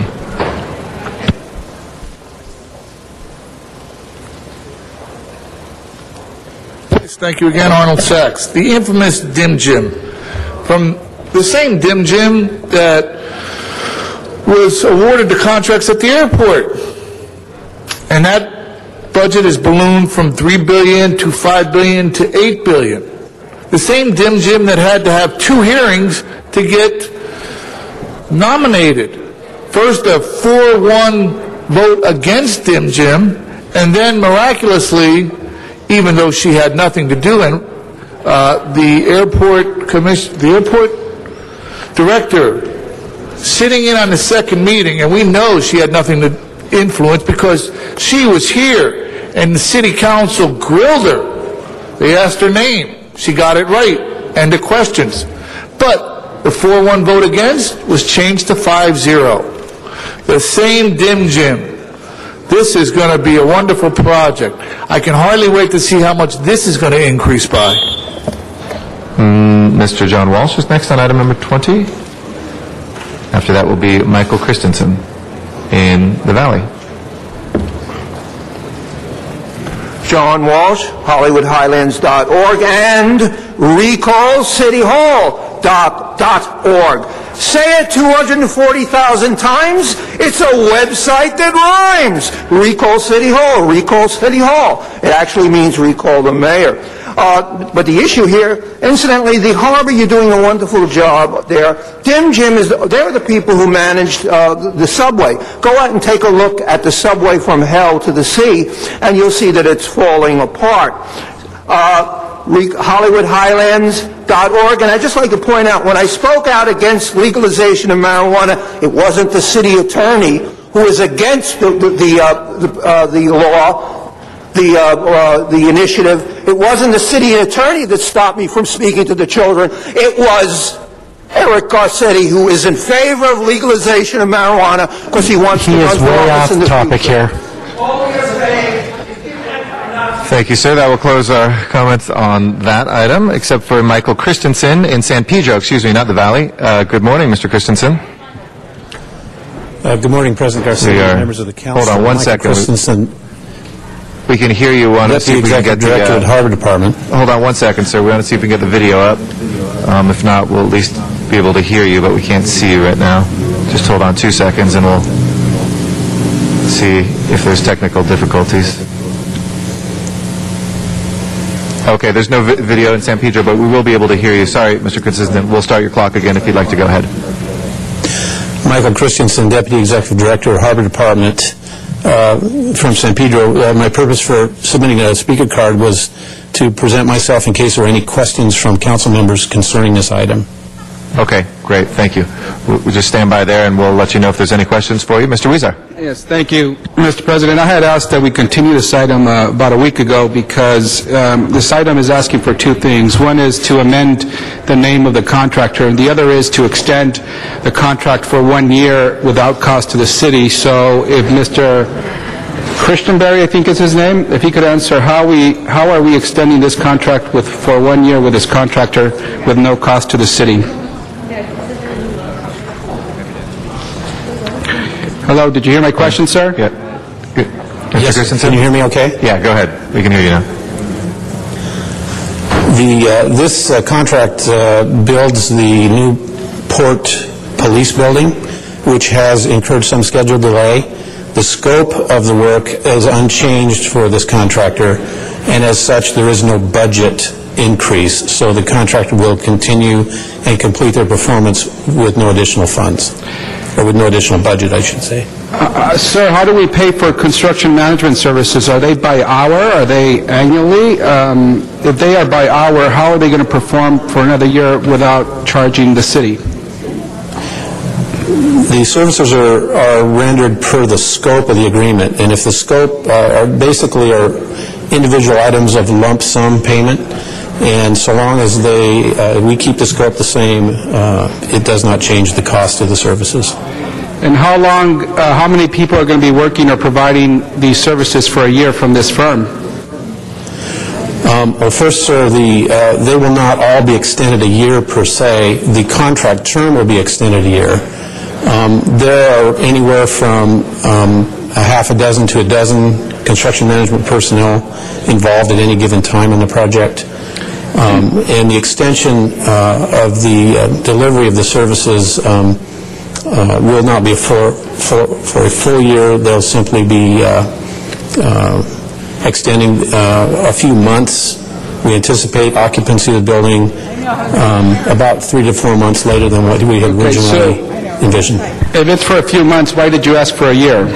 And, and how many hours is this firm going to donate to the city to complete this? Um, I'm not sure I understand your question, sir, about the Two, donation. two questions. Number one question, you're asking us to extend this contract for one year, and you are now telling me that it's only for a couple of months. So why not tell us in the report that you only need it for a couple of months and not a year? That's question number one. Question number two is how many hours of construction man- management services will this firm donate to the city, since you're telling me it's at no cost to the city? The, uh, the first question is, um, they, the extension of the occupancy date is about four months. The reason we asked for a year was because there will be closeout items that will extend beyond the occupancy date. And those will happen on an as-needed basis. Those will occur um, uh, throughout the, uh, throughout the months following. We are quite sure we finished prior to a year, but we didn't want to have to come back again for another extension. In terms of donation, um, this firm will do however number of hours they need to do to complete the tasks that they agreed under their contract. Uh, If you'd like, I could come up with an estimate of the number of hours that they're planning on spending, but they're required to fulfill the scope of their agreement regardless of the number of hours it takes them to do it. Got it. So it's about four hours until you get the certificate of occupancy. It could be more to finalize the whole project, and that's what- why you asked for a year. If you could please forward that information to, to my office and all council members as to how many hours you expect this firm to complete this job. I, I I just thought it was uh, interesting that uh, there will be no charge to the city when we are extending a contract for one year, but if you're telling me that most of the work is four months, and that's when you get the certificate of occupancy, that makes a lot more sense than a year. Thank you. Thank you, Ms. Hahn. Thank you. Thank you. Um, uh, Mike, I just want to maybe clarify, too, um, how how is this paid for? Who who pays the bills for uh, this contract? Is it The bills for the construction management it city- services? Is it city general fund, or is it, is it revenue from the port? The costs for the construction and construction management of the Port Police Building are paid from the Harbor Department's proprietary funds. Uh, They do not affect uh, or come from in any way the general funds of the city. Right, and I think that's always important to note, uh, that this money does not come uh, from the general fund, is not taxpayer dollars, Um, and of course, this is a uh, Port Police uh, building. We know that uh, we have increased the ranks of our Port Police officers since 9/11. Uh, We know that still the the Port of Los Angeles is always one of those that's on the top 10 list uh, for a potential attack, and we know that they have been operating out of very poor conditions um, at the Port of Los Angeles. This is a building that I think we have wanted for a long time. It makes sense, it's going to be state-of-the-art, and it will, I believe, um, allow them to really perform their duties in a way that uh, lives up to the challenge that I think we ask of them every single day. So I've had this in committee, uh, and I would ask uh, you colleagues to to support this today.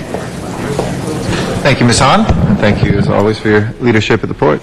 With that, let's go ahead and open the roll, close the roll, and tabulate the vote. 14 ayes. That is approved. Next item, please. Item 21, called special for cards. All right, uh, we have a number of speakers. We have uh, five speakers. I'd like to start with Joe Linton. Thank you for your patience. Good to see you.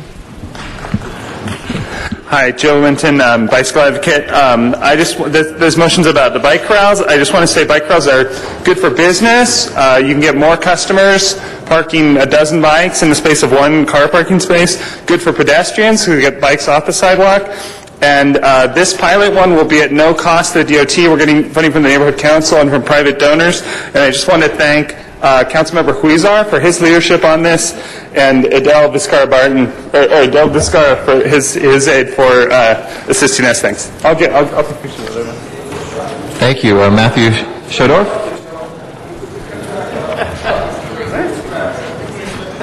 Hi, uh, my name is Matt Shodorf. I'm a small business owner in Highland Park. I, uh, I, I live and work in Highland Park. Uh, my wife and I have a small coffee shop, and we wanted to uh, hopefully have this bicycle corral be the first one in Los Angeles, um, in, in uh, near our coffee shop, in front of our coffee shop on York Boulevard. Um, we want to thank uh, the council member for support on this. Um, we think it's going to, uh, we know it's going to create a safer and better bicycling environment for all the um, folks in Highland Park and the surrounding neighborhood in Northeast LA. Um, and we also have the support of our the Highland Park Neighborhood Council, unanimous support of the Highland Park Neighborhood Council. Uh, the president of the nearby Occidental College, I mean, Occidental College is like six blocks from us, less, four, five blocks. Um, uh, our, our building owner, uh, who's also our landlord, and the president of the Chamber of Commerce of Highland Park uh, supports us. Um, the the uh, owners of uh, a number of local businesses, and of course the citywide bicycle um, associations. Thank you very much. Thank you. Ramon Martinez is our next speaker. After that is John Walsh. Thanks a lot. How's it going, Council? I wanted to um, speak in support of this uh, motion. Ramon Martinez, I work with the Los Angeles County Bicycle Coalition. Um, this motion has only made it this far uh, because of the awesome support from Councilmember Huizar's office, Councilmember Rosendahl. Uh, we've had great support uh, from Transportation Deputy uh, Adele Vizcara. And um, as Matt said, the support of the community. Matt's the small business owner in which this bike rally is going to go right in front of. Um, the property owner is in support of this. The neighborhood council is in support of this. Um, we've just seen huge, a huge wave of support for this motion. Um, so I ask that council support it. As well, I wanted to remind council about the broken window theory. And this is a, this is a concept that I learned from New York City's Department of Transportation and, and something that they learned from, from our former, you know, chief of police, which is that if we have simple things like bikes that are getting stolen and we don't even have places to park them, you know, conveniently and effectively and efficiently, then we're losing out on, on the larger battle on, on, on creating a livable city and creating a healthy city and creating a safe city. And so little things like this that are cheap and effective and can just go in pilot project style can be really, really, really powerful in, um, in creating that safe city that we all want to see. So again, I ask for your support and uh, thank everybody for, for, for getting it this far. Thank you. Thank you very much, Mr. Martinez. John Walsh is our last speaker. You have one minute left, sir.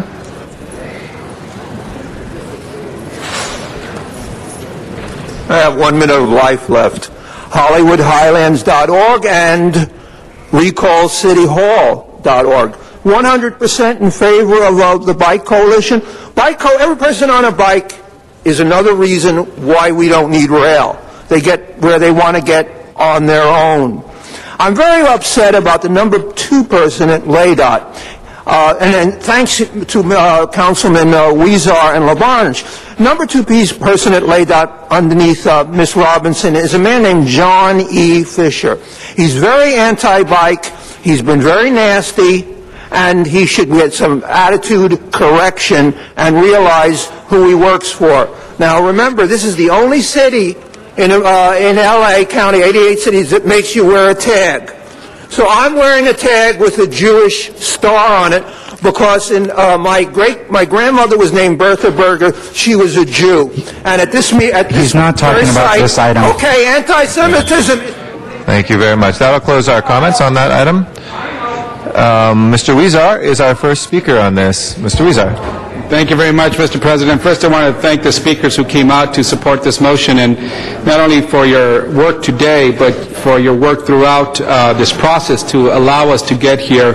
It is through your activism, uh, advocacy, and involvement that we've been able to do this as well. I also want to thank the Transportation Committee, Mr. Rosendahl, Koretz, and uh, um, uh, uh, Mr. LaBonge for supporting this uh, in the Transportation Committee. Uh, uh, Council members, this is a very unique thing we're doing here. Uh, there are no bike corrals in the city of Los Angeles. This will be the first, and we're doing it on a pilot basis so that eventually and hopefully we could expand the corrals, bike corrals throughout the city of Los Angeles. Uh, we expect that they, this will be a success and people will want to have their own, whether it's my colleagues in their council districts or other businesses throughout the city, because they're going to see how efficient environmentally friendly, and good for business that the corral, uh, bike corral can be. Uh, what we are doing here is to put a bike corral in front of Café de Leche, a coffee shop in Highland Park, uh, that will allow for the parking of anywhere between 10 to 20 bicycles. Uh, we understand that the business owner is supporting this um, uh, through some of his funds, uh, their funds, and that uh, eventually, hopefully, the Department of Transportation could find additional funds should we expand this. It's no cost to the city. This is a good private partner, uh, public partnership. Uh, and again, um, uh, we are hoping to uh, not only help with the promotion of bicycle riding in the city of LA, but when you make it more convenient, both for businesses and customers alike, that's when people are going to start using bicycles more often. So thank you so much, and I ask for your aye vote on this. And again, thanks for everyone who came out here today and for your work. And uh, I look forward to riding my bike there to get my cup of coffee on a Saturday morning. Thank you.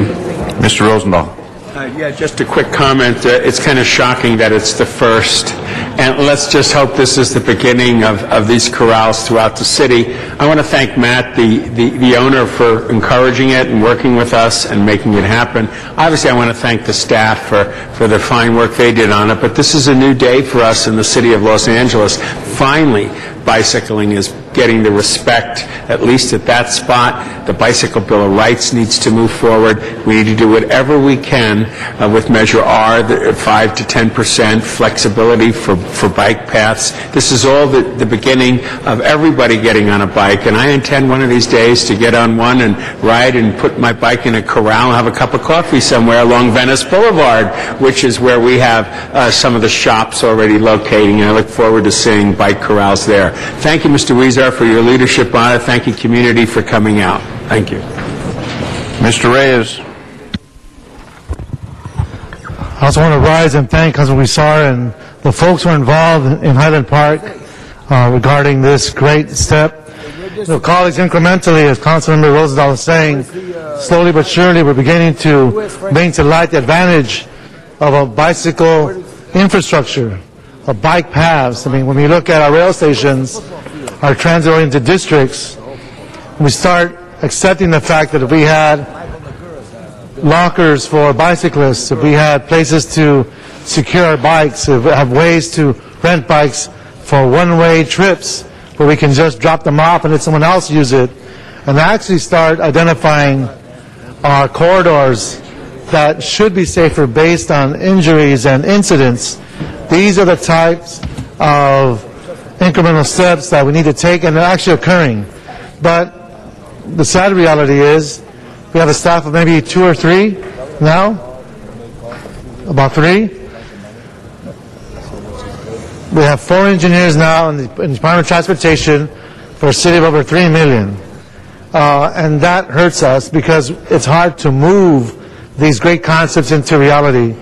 About four years ago, uh, you supported and we passed a demonstration project for District 1 and how we can look at corridors, uh, create bike boulevards, and actually create safe passages for bikes.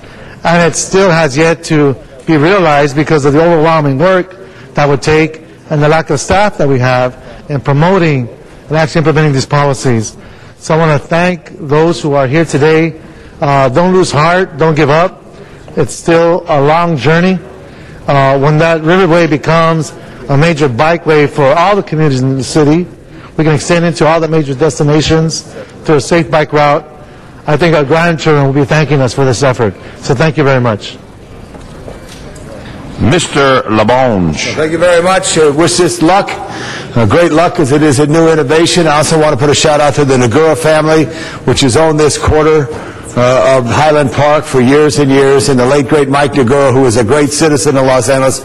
Now his daughter runs the business there, so it's a very special day as we move forward. Congratulations to all those who be involved. And I didn't ask anything for the city of Mr. Alarcon. Council members, I, I um, rise to support this, but I, I just wanted to call your attention to an article in today's uh, LA Business Journal, written by uh, Joseph Bray Ali, who is the son of my chief of staff, Saeed Ali, and it's putting parking in its place He is an avid bicyclist, and I just want to point it out uh, so that uh, my chief of staff will like me that much more, but also so that uh, you can read this article. It's exactly on point. Talks about creating uh, opportunities, not just uh, things like bike corrals, but it talks about uh, planning for bicycling uh, and changing the, the, the culture of development uh, as we know it to be uh, more capable of encouraging bicycling in Los Angeles. It's a good article. I, I just recommend you read it. LA's Business Journal. And I'm sure my chief of staff can get you a copy if you need one. Thank you, Mr. Alarcon. Uh, This matter is now before us for a vote, colleagues. Please open the roll, close the roll, and tabulate the vote. 14 ayes. Matter passes. Uh, Ms. Perry, do you have a comment? Okay, I saw you standing. I thought you may. Uh, Mr. Clerk, next item, please. Uh, Mr. President, there is a special one, and the city attorney will speak to the findings. Mr. City Attorney on special one, please. Thank you, Mr. President. Since the posting of today's agenda, the LAPD has notified city staff of the need for a council motion to direct the Department of Transportation to close parking lot number 753 so that the LAPD could use the lot as a logistics area for the May Day event. Immediate action is required to direct DOT before the event. Council must fir- first make findings pursuant to Government Code Section 54954.2 before considering the substantive motion. On the findings? Anyone on the findings? All right. On the findings, open the roll, close the roll, tabulate the vote. 14 ayes. Very well, the matter is now before us. No comment, so let's open the roll, close the roll, tabulate the vote. 14 ayes. It is now passed for the uh, police to take care of that matter. Mr. Cardenas, do you have a question? Mr. Cardenas, you don't have a question. You had that puzzled look on your face. All right, next uh, item, please. Mr. President, it does take care of the items on the regular agenda. Do you wish to recess the regular and go into the special? Let's recess our regular meeting, and go into the special meeting. Alarcon, Cardenas, Hahn, Huizar, Koretz, Krekorian, LaBonge, Parks, Perry, Reyes, Rosendahl, Smith, Wesson, Zine, Garcetti, 14 members present and a quorum. Very well. This is a one-item agenda. Item 22 is an item for which public hearing has not been held. 10 votes are required for consideration, and there are amending motions 22A and 22B that have been circulated. Ms. Perry. Thank you very much, Mr. Chair. This morning in Energy and Environment Committee, we uh, did the- the clarifying motion in response to the uh, latest action from the Department of Water and Power regarding the energy cost adjustment factor. And at the table, we had the chief legislative analyst, the chief administrative officer, and a representative from the Department of Water and Power, their um, designated city attorney. And I think if I could just summarize, and um, why don't you guys, if Mr. Miller is here, I don't think the CAO is here, and the attorney for the Department of Water and Power, if I could just summarize for the purposes of time. Um, The reason I felt there was a need for clarification is because there was some, some question as to whether or not the last action by the Department of Water and Power uh, meant that the rate increase was permanent. Um, It was, in fact, permanent. Um, If I could just, again, summarize, uh, the current ECAF rate is 5.09, and then uh, October the 1st, it then increases to 5.79, and that is a permanent rate increase. I'm sorry? 6.9. 6.9. 6.9, wow. On July That would have been scary. Thank you for, thank you for correcting me. Uh, You're absolutely right, because, that's right, you're right. 5.69, October the 1st. Um, and I felt it was important to clarify this on the record. Uh, Now, some of us did vote no on the uh, affirmation motion that was sent back to the commission. Um, I felt, and I can only speak for myself, I can't speak for others, and I don't think that's appropriate, but that we had we had made an offer, the commission had rejected it, they could have initiated their own counter-proposal, but they chose not to, and uh, quite frankly, um, for those who did vote to do the reaffirmation in the hopes that it would create a good pathway for having a power revenue transfer, that has not yet occurred. And um, I want to note that for the record. Now, um, I had contemplated uh, doing a 245 on this today, um, and we can see how it goes, but I do have a fallback position, Um, and we can pursue that too. I'll see how many speakers are, and then I'll uh, cycle back. Thank you, Ms. Perry. Uh, Mr. Koretz. Yeah, I know I'm not speaking for everyone, but I know the conversation around this item led at least me, and I'm pretty sure some other council members, to believe that this was a rate increase that would only be for one quarter and that would revert back to its original rate pending some actions by the DWP upon which we could decide to give uh, future rate increases. Um, how did that conversation occur that where there was very little discussion, if any, of this being a permanent rate hike, and yet it turns out that it was? How do we wind up here? Don't all speak at once. Um, Well, uh, Mr. Koretz, um, the the conversation from the beginning, that the board action, um, the analysis that PA Consulting presented to you, the the joint report from the COCLA, um, all of that dealt with the allowable increase under the ECAF. Uh, None of that information presented to you contemplated that the rate would actually roll back. Um, Now, I I think i- i- it's it's important to understand the, what this ECAF cap increase means. The board can do a .1 increase per quarter. They don't have to make any findings.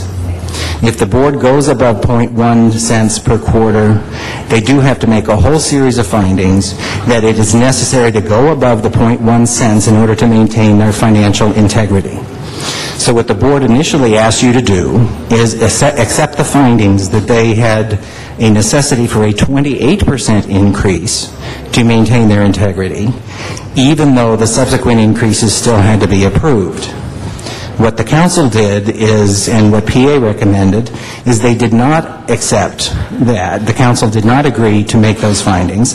The council agreed on the findings that they needed a, they first increase, in this case of .6%, and said, go back, make the findings again, and give us the opportunity to have the transparency on your efficiencies, on your DSM program, on your RPS program, before another increase. But at no point was there a discussion that the actual rate itself would roll back. Well, maybe I'd have to go back to tapes and such, but I, I recollect that to be the conversation. Um, and most of the conversation, I agree, was around these more ongoing increases, but that was around the recommendations. I don't think the council was under the uh, understanding that they were going along with those recommendations. And in fact, um, the first motion, which, which the DWP rejected, I thought was for only one quarter. And that the language in this was very similar. There may have been a tiny difference that caused this. But I certainly thought what we first sent to the DWP and they turned down was absolutely only for one quarter. Otherwise, I don't think they would have turned it down. Am I wrong? Well, again, I, I- you know, I can only speak to the information that was presented, um, in, in that what the council turned down was the findings that they needed more than the first quarter increase, but it was not an actual rollback of the rate. The discussion of what the, the impact would be, the 4.8%, for example, that the council um, uh, recommended to the board, that's an annual increase. If we were only talking about one quarter and that it would roll back, we would be talking about a 1.2% increase, not a 4.88% increase. So in terms of, of of the context of the discussions and the impact on the ratepayers, it was all annualized and did not contemplate that the rate would be rolled back. Well, all I can say is I think this is a, a surprise to, to more than one of us. Um, and I would hope that uh, the DWP would realize that some of us feel scammed uh, and misled. Um, and if they're ever looking for further rate increases or any other cooperation from us, they're going to have to address this in some way and not deal with it as if it's a, a permanent gift to them because it, it was never intended to be the case. Thank you. Mr. Garcetti? very much, Mr. President and Mr. Koretz. I think we all uh, have plenty of evidence of feeling scammed and misled over the last uh, uh, few months. That said, uh, my questions are for the city attorney, and I think this will be an important um, uh, point for council, which has voted many times on different ECAFs or has decided not at other times to 245 them. First of all, can the council set rates? Does it have the power to set rates? The board uh, establishes the rates and the council approves them by ordinance. So we can, we can, if we want, then approve or reject them, but we cannot set the rate level. That is correct. The, the board is the rate-setting authority. Is there anything that we can transmit, which becomes an official transmittal that they act on, on setting rates? Or can we only advise and they have to take an independent action? Correct. There's an independent action. You can certainly advise and provide recommendations, but they, it is an independent action. And that's important because I know a lot of the coverage was saying the council said it or we sent something to them which was, which was a formal rate increase. We, we did not do that, nor do we have the power to do that, colleagues. Third question, does the Board of Water and Power on the E ECAF have to calculate this each quarter? That is correct. It is a, and, and I think that's an important distinction, council members. There is a energy cost adjustment rate, and on a quarterly basis, you can make an adjustment to that, to that rate. Under the current ordinance, you're only allowed to, and it's a, it's a mathematical equation, but you're only allowed an increase to that adjustment of 0.1. And that's what we've been referring to in, in the discussions here as, as the cap. The, the item that you passed allowed the increase of that cap, that quarterly cap, to 0.6 for the fiscal quarter from July 1st to uh, September 30th. But on October 1st, by ordinance, by law, the board has to recalculate the ECAF. If- In other words, if they want to keep that .6, they have to calculate that again, and we have the power to stop that if we want to 245 that. The, the, the .6, actually, the cap increase of .6 mm-hmm. expires on its own on September, after September 30th. So on October Did everybody hear that? It expires on its own on September 30th. That's the cap increase. Right. On October, on October 1st, you revert back to the cap increase of .1 that is under the existing ordinance. The way the ordinance is written, it's .1. By the way, though, with the .1, for instance, when the board did not decide to do the .1, for whatever reason they decided, they sent the whole thing back to us with .7. They also didn't pass a .1. It didn't automatically go in, did it, the .1? That is correct. That- So for anybody who's reporting or covering and saying that, well, that automatically something kicks in, it cannot, it will not, and we have the power, if they do decide to find that .6 again, we have the power to 245 it. I, I like the amendment that Ms. Perry put in. I think she referred to it as a fallback position. It restates what we did. I would add something to strengthen that with her permission if that comes up, which is to make sure that they report on September 1st, because that was some of the language of the original motion. I don't want to wait till October 1st, but if that's all right with you, to make sure they come in on September 1st. They're not obligated to do so, but for me to be able to vote for anything moving forward, I certainly wanted to see that they have some accountability, they have some transparency, that they have a plan, that they know what the renewables are going to be, that they have a ratepayer advocate in place. But if that could be accepted as a friendly amendment, would that be okay? When I put it in. Okay, when- when, it gets put in. If it gets put in. And if we put it in. Good, okay. If it gets put in, I'd like to, to add that. But, but I'll just conclude on that. Folks, we have the power. It says right here, the ECAF shall be calculated four times each year. If they don't calculate it, they don't get it. If they do calculate it, we have the power to stop it. And as the city attorney just said, it's crystal clear, they don't, that does not stay there. It resets back down, not to zero, but to the point one that we've had in for some series of a year or so. Correct. And again, that is, that is the cap that reverts, not Okay. the... And I understand the the, the complications of, of this, folks. This is not easy policy stuff, but I hope that makes that crystal clear what we did, where the power lies, and how we can continue to keep them accountable, because I certainly want to, this council does, and we will continue to have that power. It cannot be taken away by anybody. Mr. President, for clarification, that September 1st date actually falls during the council's recess, the summer recess, The fir- then the first council meeting after September 1st. which would be September 7th. Thank you. Clarification. Mr. Mr. Cardenas, you're up. Point of clarification to Councilmember Garcetti. You want September 1st or the date that you just described, or on or before? The- the- Well, I'd love on or before. Thank you for that clarification. We'd love to see them before if they Okay. get a ratepayer advocate in I place. mean, if they're ready, like a month before, we don't want them to wait, right? Sure, absolutely. Okay. Mr. Cardenas, you're up. Great, thank, thank you very much. Um, To the three gentlemen that are sitting here, uh, a question was asked about potentially being misled, or I I forget what, one of my colleagues, the word that, that he used. um, But can any of you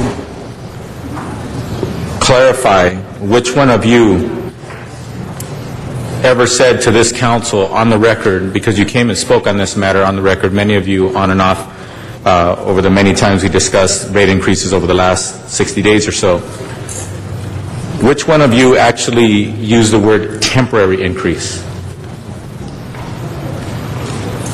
You don't have to speak if you didn't say anything, because I don't remember any of you saying that, that it was a temporary increase. Well, it- it- it, um, it- to be very clear, we may have used temporary increase in the cap, a temporary increase in the allowable increase, not a temporary increase in the rate. Okay. Now, when it comes to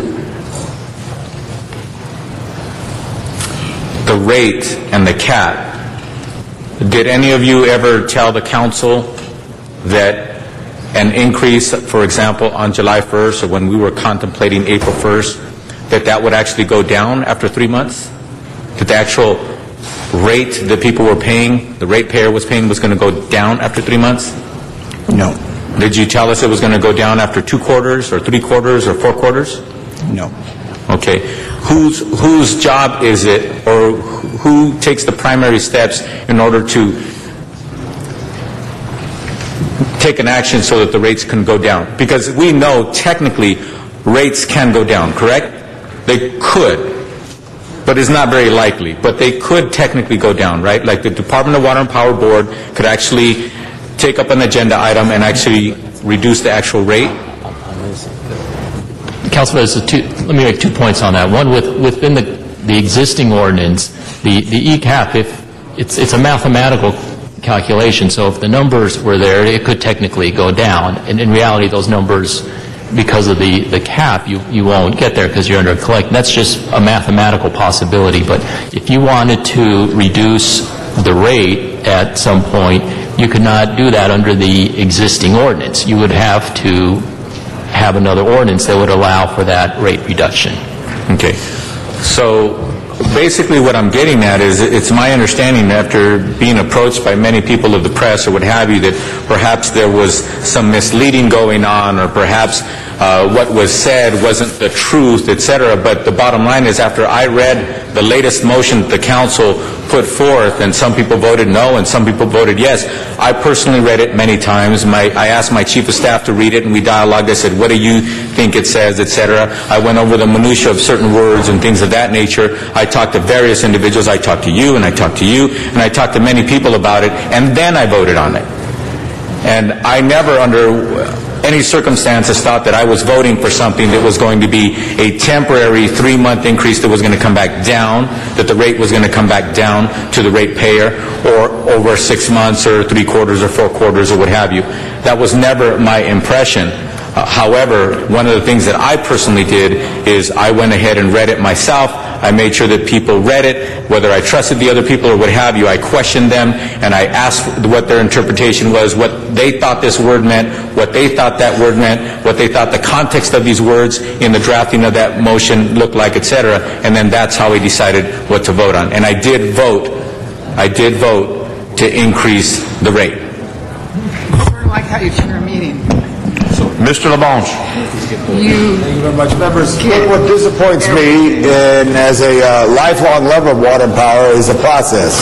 Uh, and it's been very confusing to try to explain this to the public that we represent. And it's been difficult. And I've had a number of community meetings where people have not been able to understand this.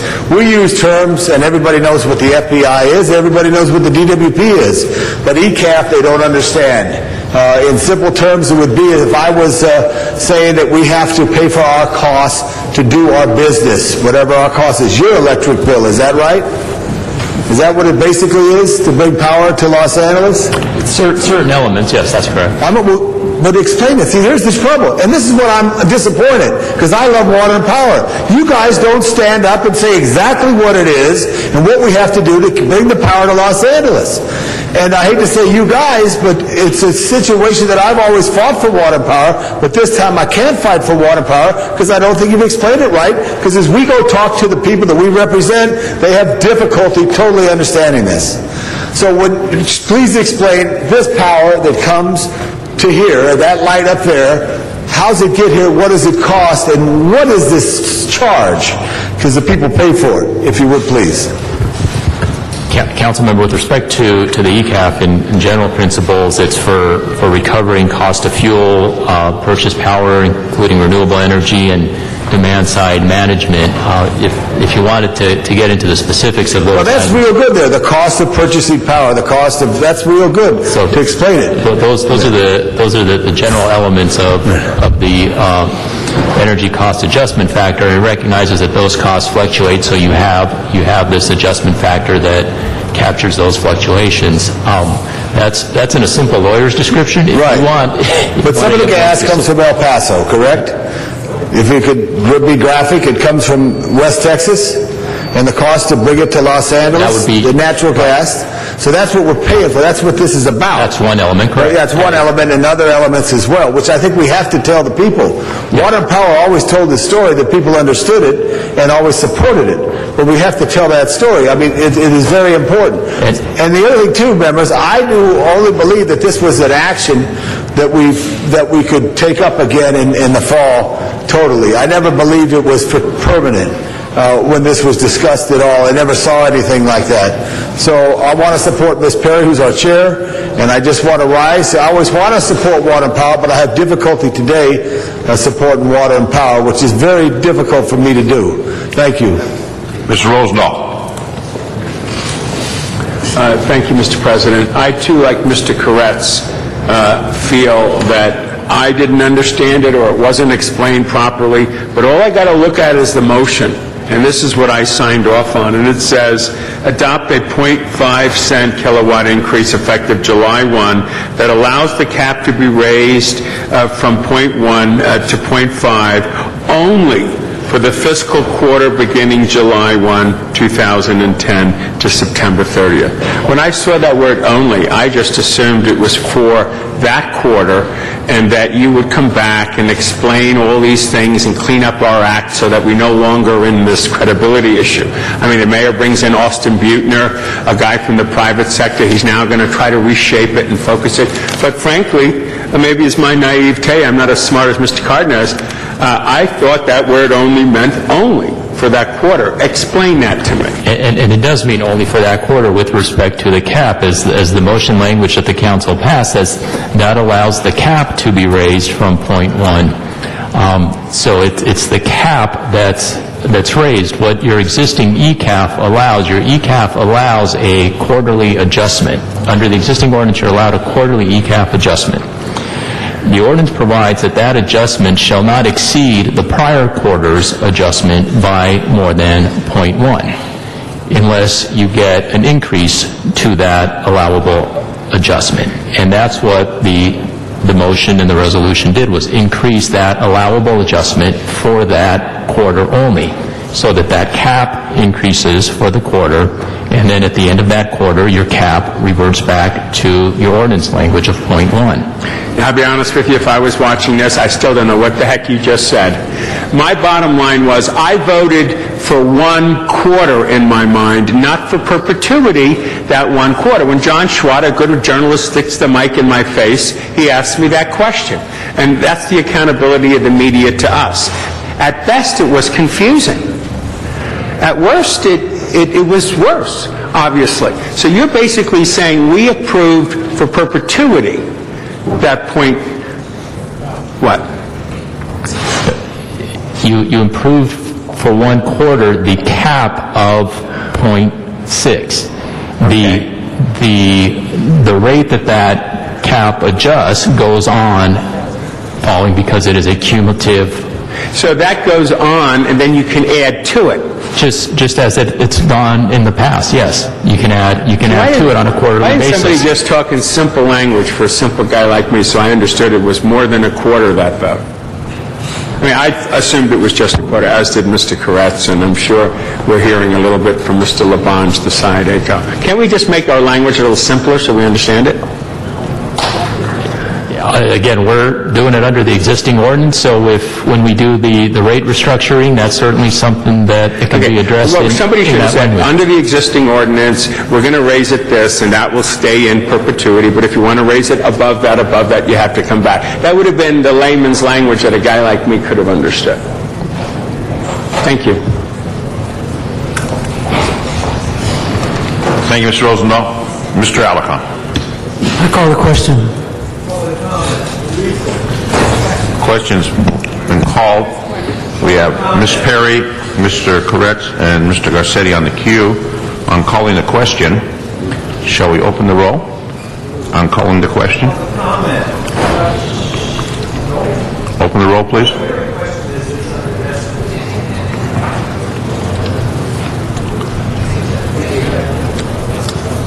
Close the roll, tabulate the vote. 11 ayes, 3 noes. The question's been called. Uh, We have a, Mr. Chair, Ms. Perry?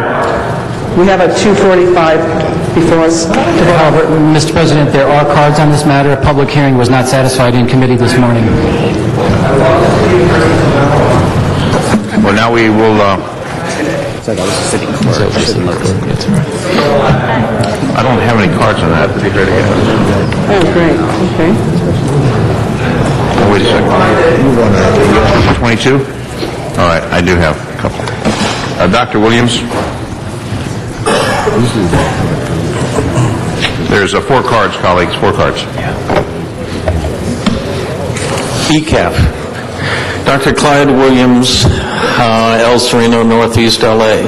As one board commissioner once said, how can I explain it to my people when I can't understand it myself? That was for the bill, just the bill, because nobody can understand it.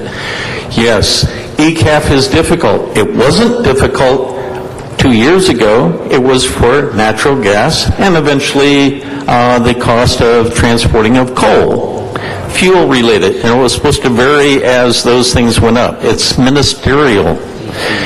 Now, they've added so many other things to it that it effectively becomes a rate increase in perpetuity. These are caps.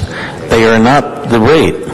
So once you raise the cap, you allow each quarter the rate to increase without any discretionary action on the part of the Board of Water and Power nor this council. So I wonder how the 245 can apply to simple regulatory ministerial actions on the part of our dear management of DWP. So I'm quite concerned about the new man on the block who, hey, he has a profit motive. Let's make DWP even more profitable so that you can get more money back to the city council. So I would highly recommend that you go back to what ECAF was two years ago and make up Board of Water and Power to actually establish rates for turbines, rates for solar, rates for coal replacement, each individually separated so that we can see where we're going and how much it's going to cost us, not necessarily this year, but how about in 2015, 2020? Thank you. Thank you very much, uh, Dr. Williams. Uh, Donna Pe- Pearman in Van Nuys is next. Arnold Sachs will be next here in council chambers. Pearman seems to have left. Are there- Come on forward. Don't worry. We see you. We see you. Don't slow down. Okay, sorry, I was on the phone. Anyway, we can't afford these DWP rates like we can't afford bus hikes. The public is having a lot of problems making ends meet, especially when you ask for sacrifice from city employees, except, uh, except not DWP, which got their raise. You want another DWP, DWP hike when we had one recently. It hits the middle class the most. You find ways to help the lower class and the people in apartments, but middle class gets hit extra hard. The city council apparently loves spending their money for their legacy, green projects. We don't get to see what we were paying. How will it help us specifically? When will it be enough? How do I know you want, uh, you won't ask for more if it costs more than you think? Why doesn't the CRA Sustainable cover any of this? It's not right. Like it's not right to have huge in- increases in Metro passes, which MTA so broke. We can't afford to pay more for Garcetti's legacy.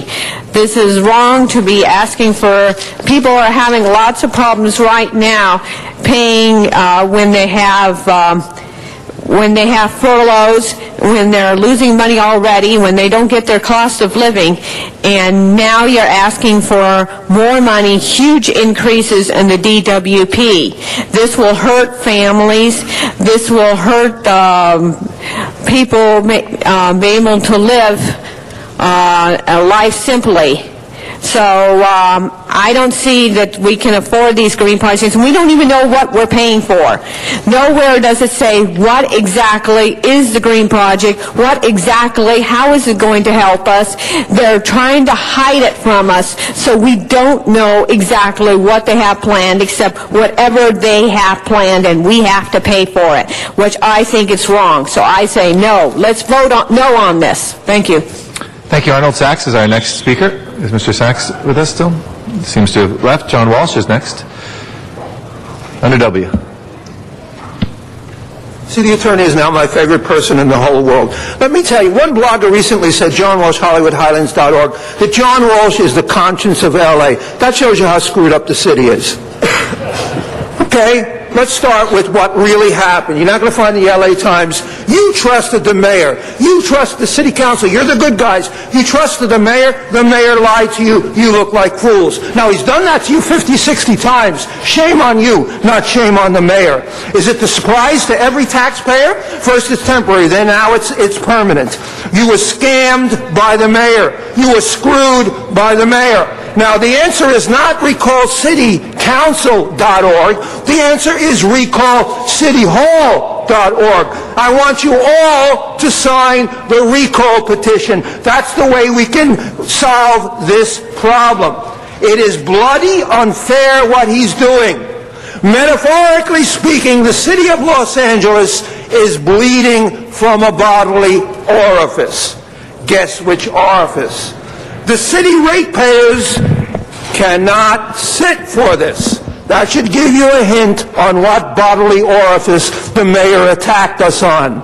I'm asking us to get together and get, the mayor has already been offered an ambassadorship by Obama if he wants to walk out. Everybody knows he's been offered an ambassadorship. HollywoodHighlands.org. If you want to find out what Sam Zell won't tell you, you come to our, our, our website.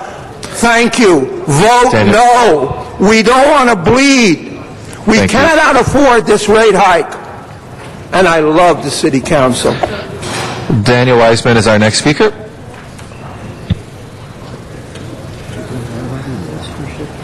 Thank you for the consideration, Mr.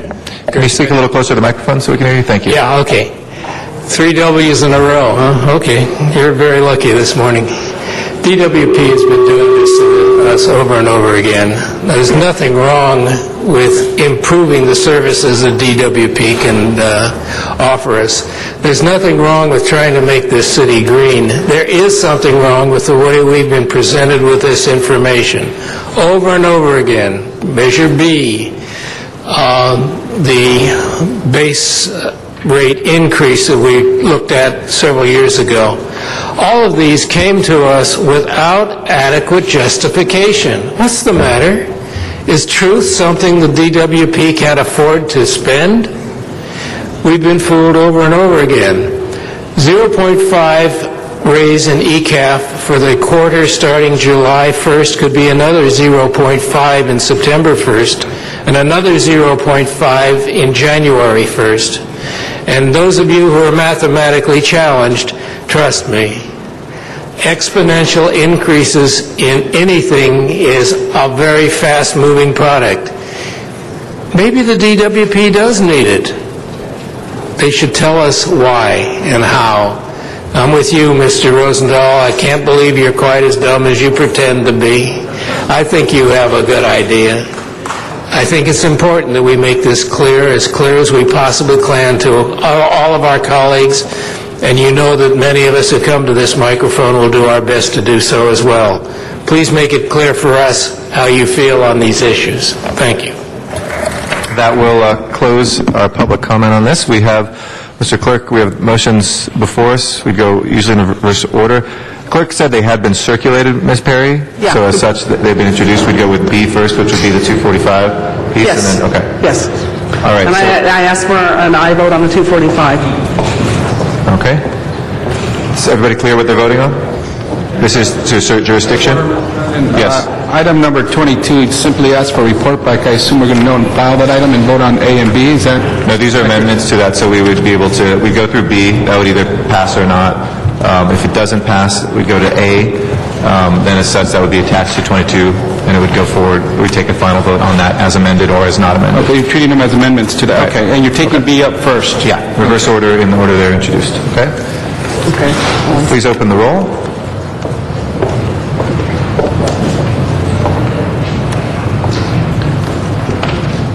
Everybody got their votes in? This is, to- a yes vote is to assert jurisdiction, a no vote is to reject, okay? Please open, sorry, open the roll. Close the roll and tabulate the vote. Nine ayes, five noes. Okay, that does not move forward. Next, we have 22A. Please open the roll as amended. Close the roll and tabulate the vote. 14 ayes. And then, as amended, we have item 22 before us. Please open the roll. And, Mr. President, that can be simply a note and file on Okay. the committee report. All right, we'll go ahead and note and file if there's no objection to that. Okay, next order of business, please. Mr. President, that takes care of the items in the special meeting. Do you wish to adjourn that and go back to the regular? Yes, please, let's go back to the regular meeting. Council has motions for posting and referral. Those are posted and referred. There are excuses on the desk.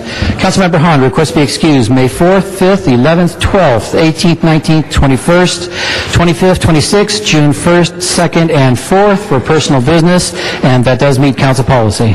All right, she is excused. Councilmember LaBonge, request to be excused to leave at 11 a.m. on May 4th for city business, that meets council policy. All right, she is excused. Councilmember Koretz, requests to be excused to arrive at 10:30 on May 19th and June 16th, both for city business, both meet council policy. He is excused. And Councilmember Garcetti, requests to be excused June 11th, 15th, 16th, 18th, 22nd, 23rd, and 25th for personal business, that meets council policy. He is excused, thank you. That clears the desk. Any announcements, colleagues? No, we'll we'll begin our budget hearings uh, shortly. Uh, Mr. Parks will be with us shortly, and I think they'll start probably about 15 minutes after we finish today. That'll be about 1:30. We'll begin our budget hearings. Other announcements? Mr. okay, None? Do we have any adjourning motions today? I can ask folks to please rise for our adjourning motions.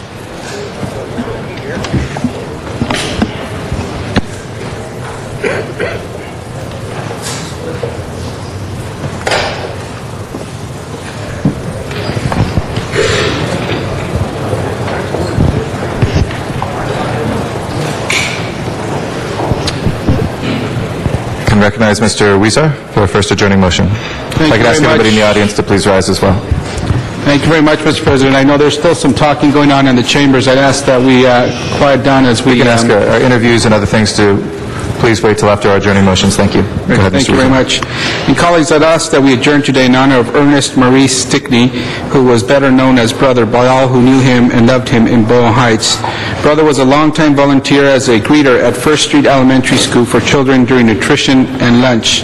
Brother Stickney was born on October 15, 1938 in Dermott, Arkansas, two hours after his twin sister Eunice Marie. His parents were Tim Marie Hayes Stickney. The family lived in Dermott for about five years after his birth before moving to Los Angeles in 1943. They settled in Boyle Heights area where brother lived until his passing. He attended First Street Elementary, Hollenbeck Middle School, and Roosevelt High School. Brother also attended the Bible Institute of Los Angeles in downtown Los Angeles for a few years, enhancing his knowledge about the Bible. For many years, he attended Marshall Memorial Church of the Nazarene and participated in the Bible studies, camping trips, and other activities of this church together with his sister and friends from the neighborhood. Because of his disability, brother, brother wasn't able to work, but he did not let that stop him from using his God-given gift of helping others. Because of his love and concern for children, he worked as a volunteer in the neighborhood Head Start program. When that program amended, Brother started an escort service walking children in the neighborhood to and from school. In some cases, he did this for three generations of children. Brother had a kind, gentle, and loving spirit, and all who knew him loved him. In June 2009, Brother became ill and entered White Memorial Hospital, where he stayed as a patient until his passing on April 18, 2010. Brother and his family were thankful for the doctors, nurses, and all the other staff who brought him much comfort during his long stay at this facility. Brother was preceded in his death by his parents, Tom and Mark Stickney. He leaves behind his beloved twin sister, Eunice Longmire, a, devo- a devoted brother-in-law, seven great nieces and nephews, great-great-nieces and nephews, the teachers and the students at First Street School Elementary. Those brother has, had, has escorted to and from school in the years past, and many other relatives and friends who loved him. And colleagues, after his passing, I got a lot of calls from generations of young people who had attended First Street Elementary School, and certainly many of us could remember those kind persons that uh, played a significant role in our lives when we were young kids, making sure we were safe, greeting us, uh, helping us smile when we t- went to and from school. And Boyle Heights community certainly is going to miss him. Thank you. Thank you. Mr. LaBonge. Thank you very much. Uh, the great joy of life is meeting very great people. And a person that I met and knew and loved was John Carl Warnecke, a great architect from San Francisco. Met him with John Ferraro in 1990 in Berlin. Uh, he uh, lived to be 91 years old. Most recently, last fall, I was able to give him one of those fine documents that the City Council gives out to salute him for his career. A great architect, he was John Kennedy's architect, and in fact designed the memorial for John Kennedy at Arlington. He also designed the State House in, uh, in Hawaii, in Honolulu, and our very own port building, among many things. He had a little retreat in Napa on the Russian River, uh, and he was a great guy. He played uh, football, tackle, offensive tackle, so he was tight with John Ferraro, who was a great All-American tackle.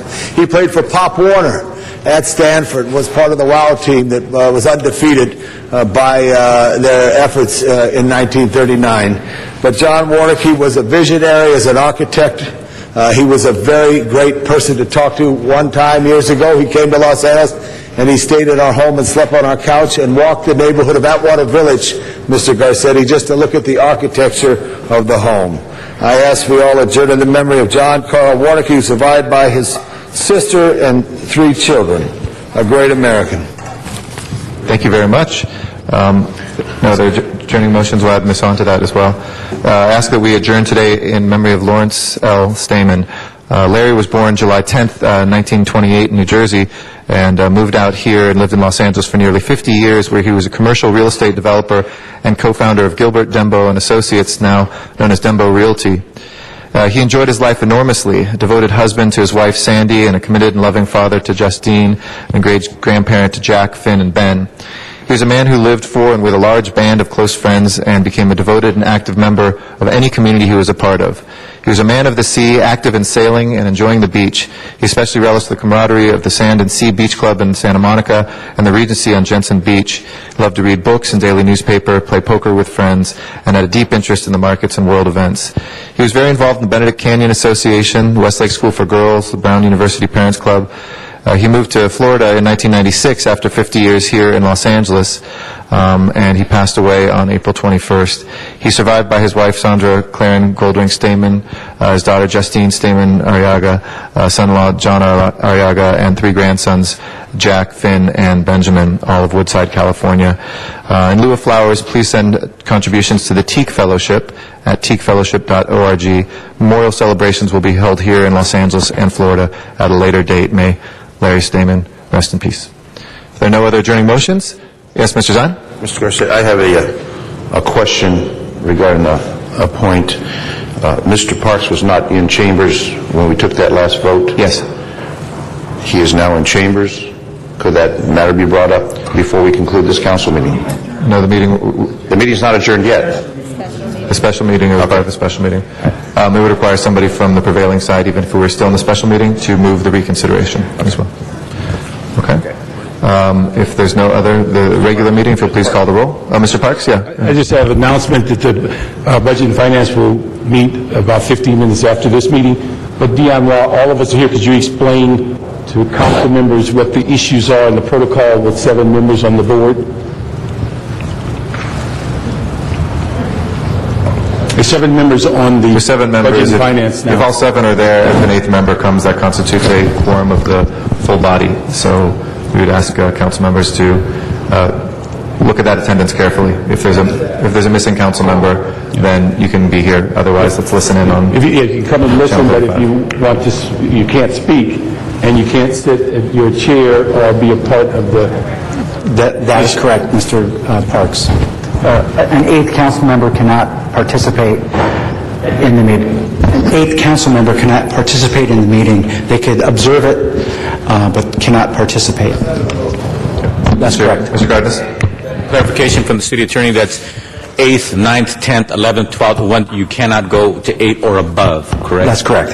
So if you walked in with four people, you couldn't think that because it's not exactly 8, you could speak. It's still 8 or above, Right. correct? Uh, I mean, Do the math. Not even in public comment. If there's a majority of the full council present, uh, then the eighth or above council member could not even speak in public comment. Thank you. Uh, Will please call the roll, Mr. Clerk? We'll next be in session at 10 a.m. tomorrow. That is Wednesday, uh, April 28th. In the meantime, have a good day.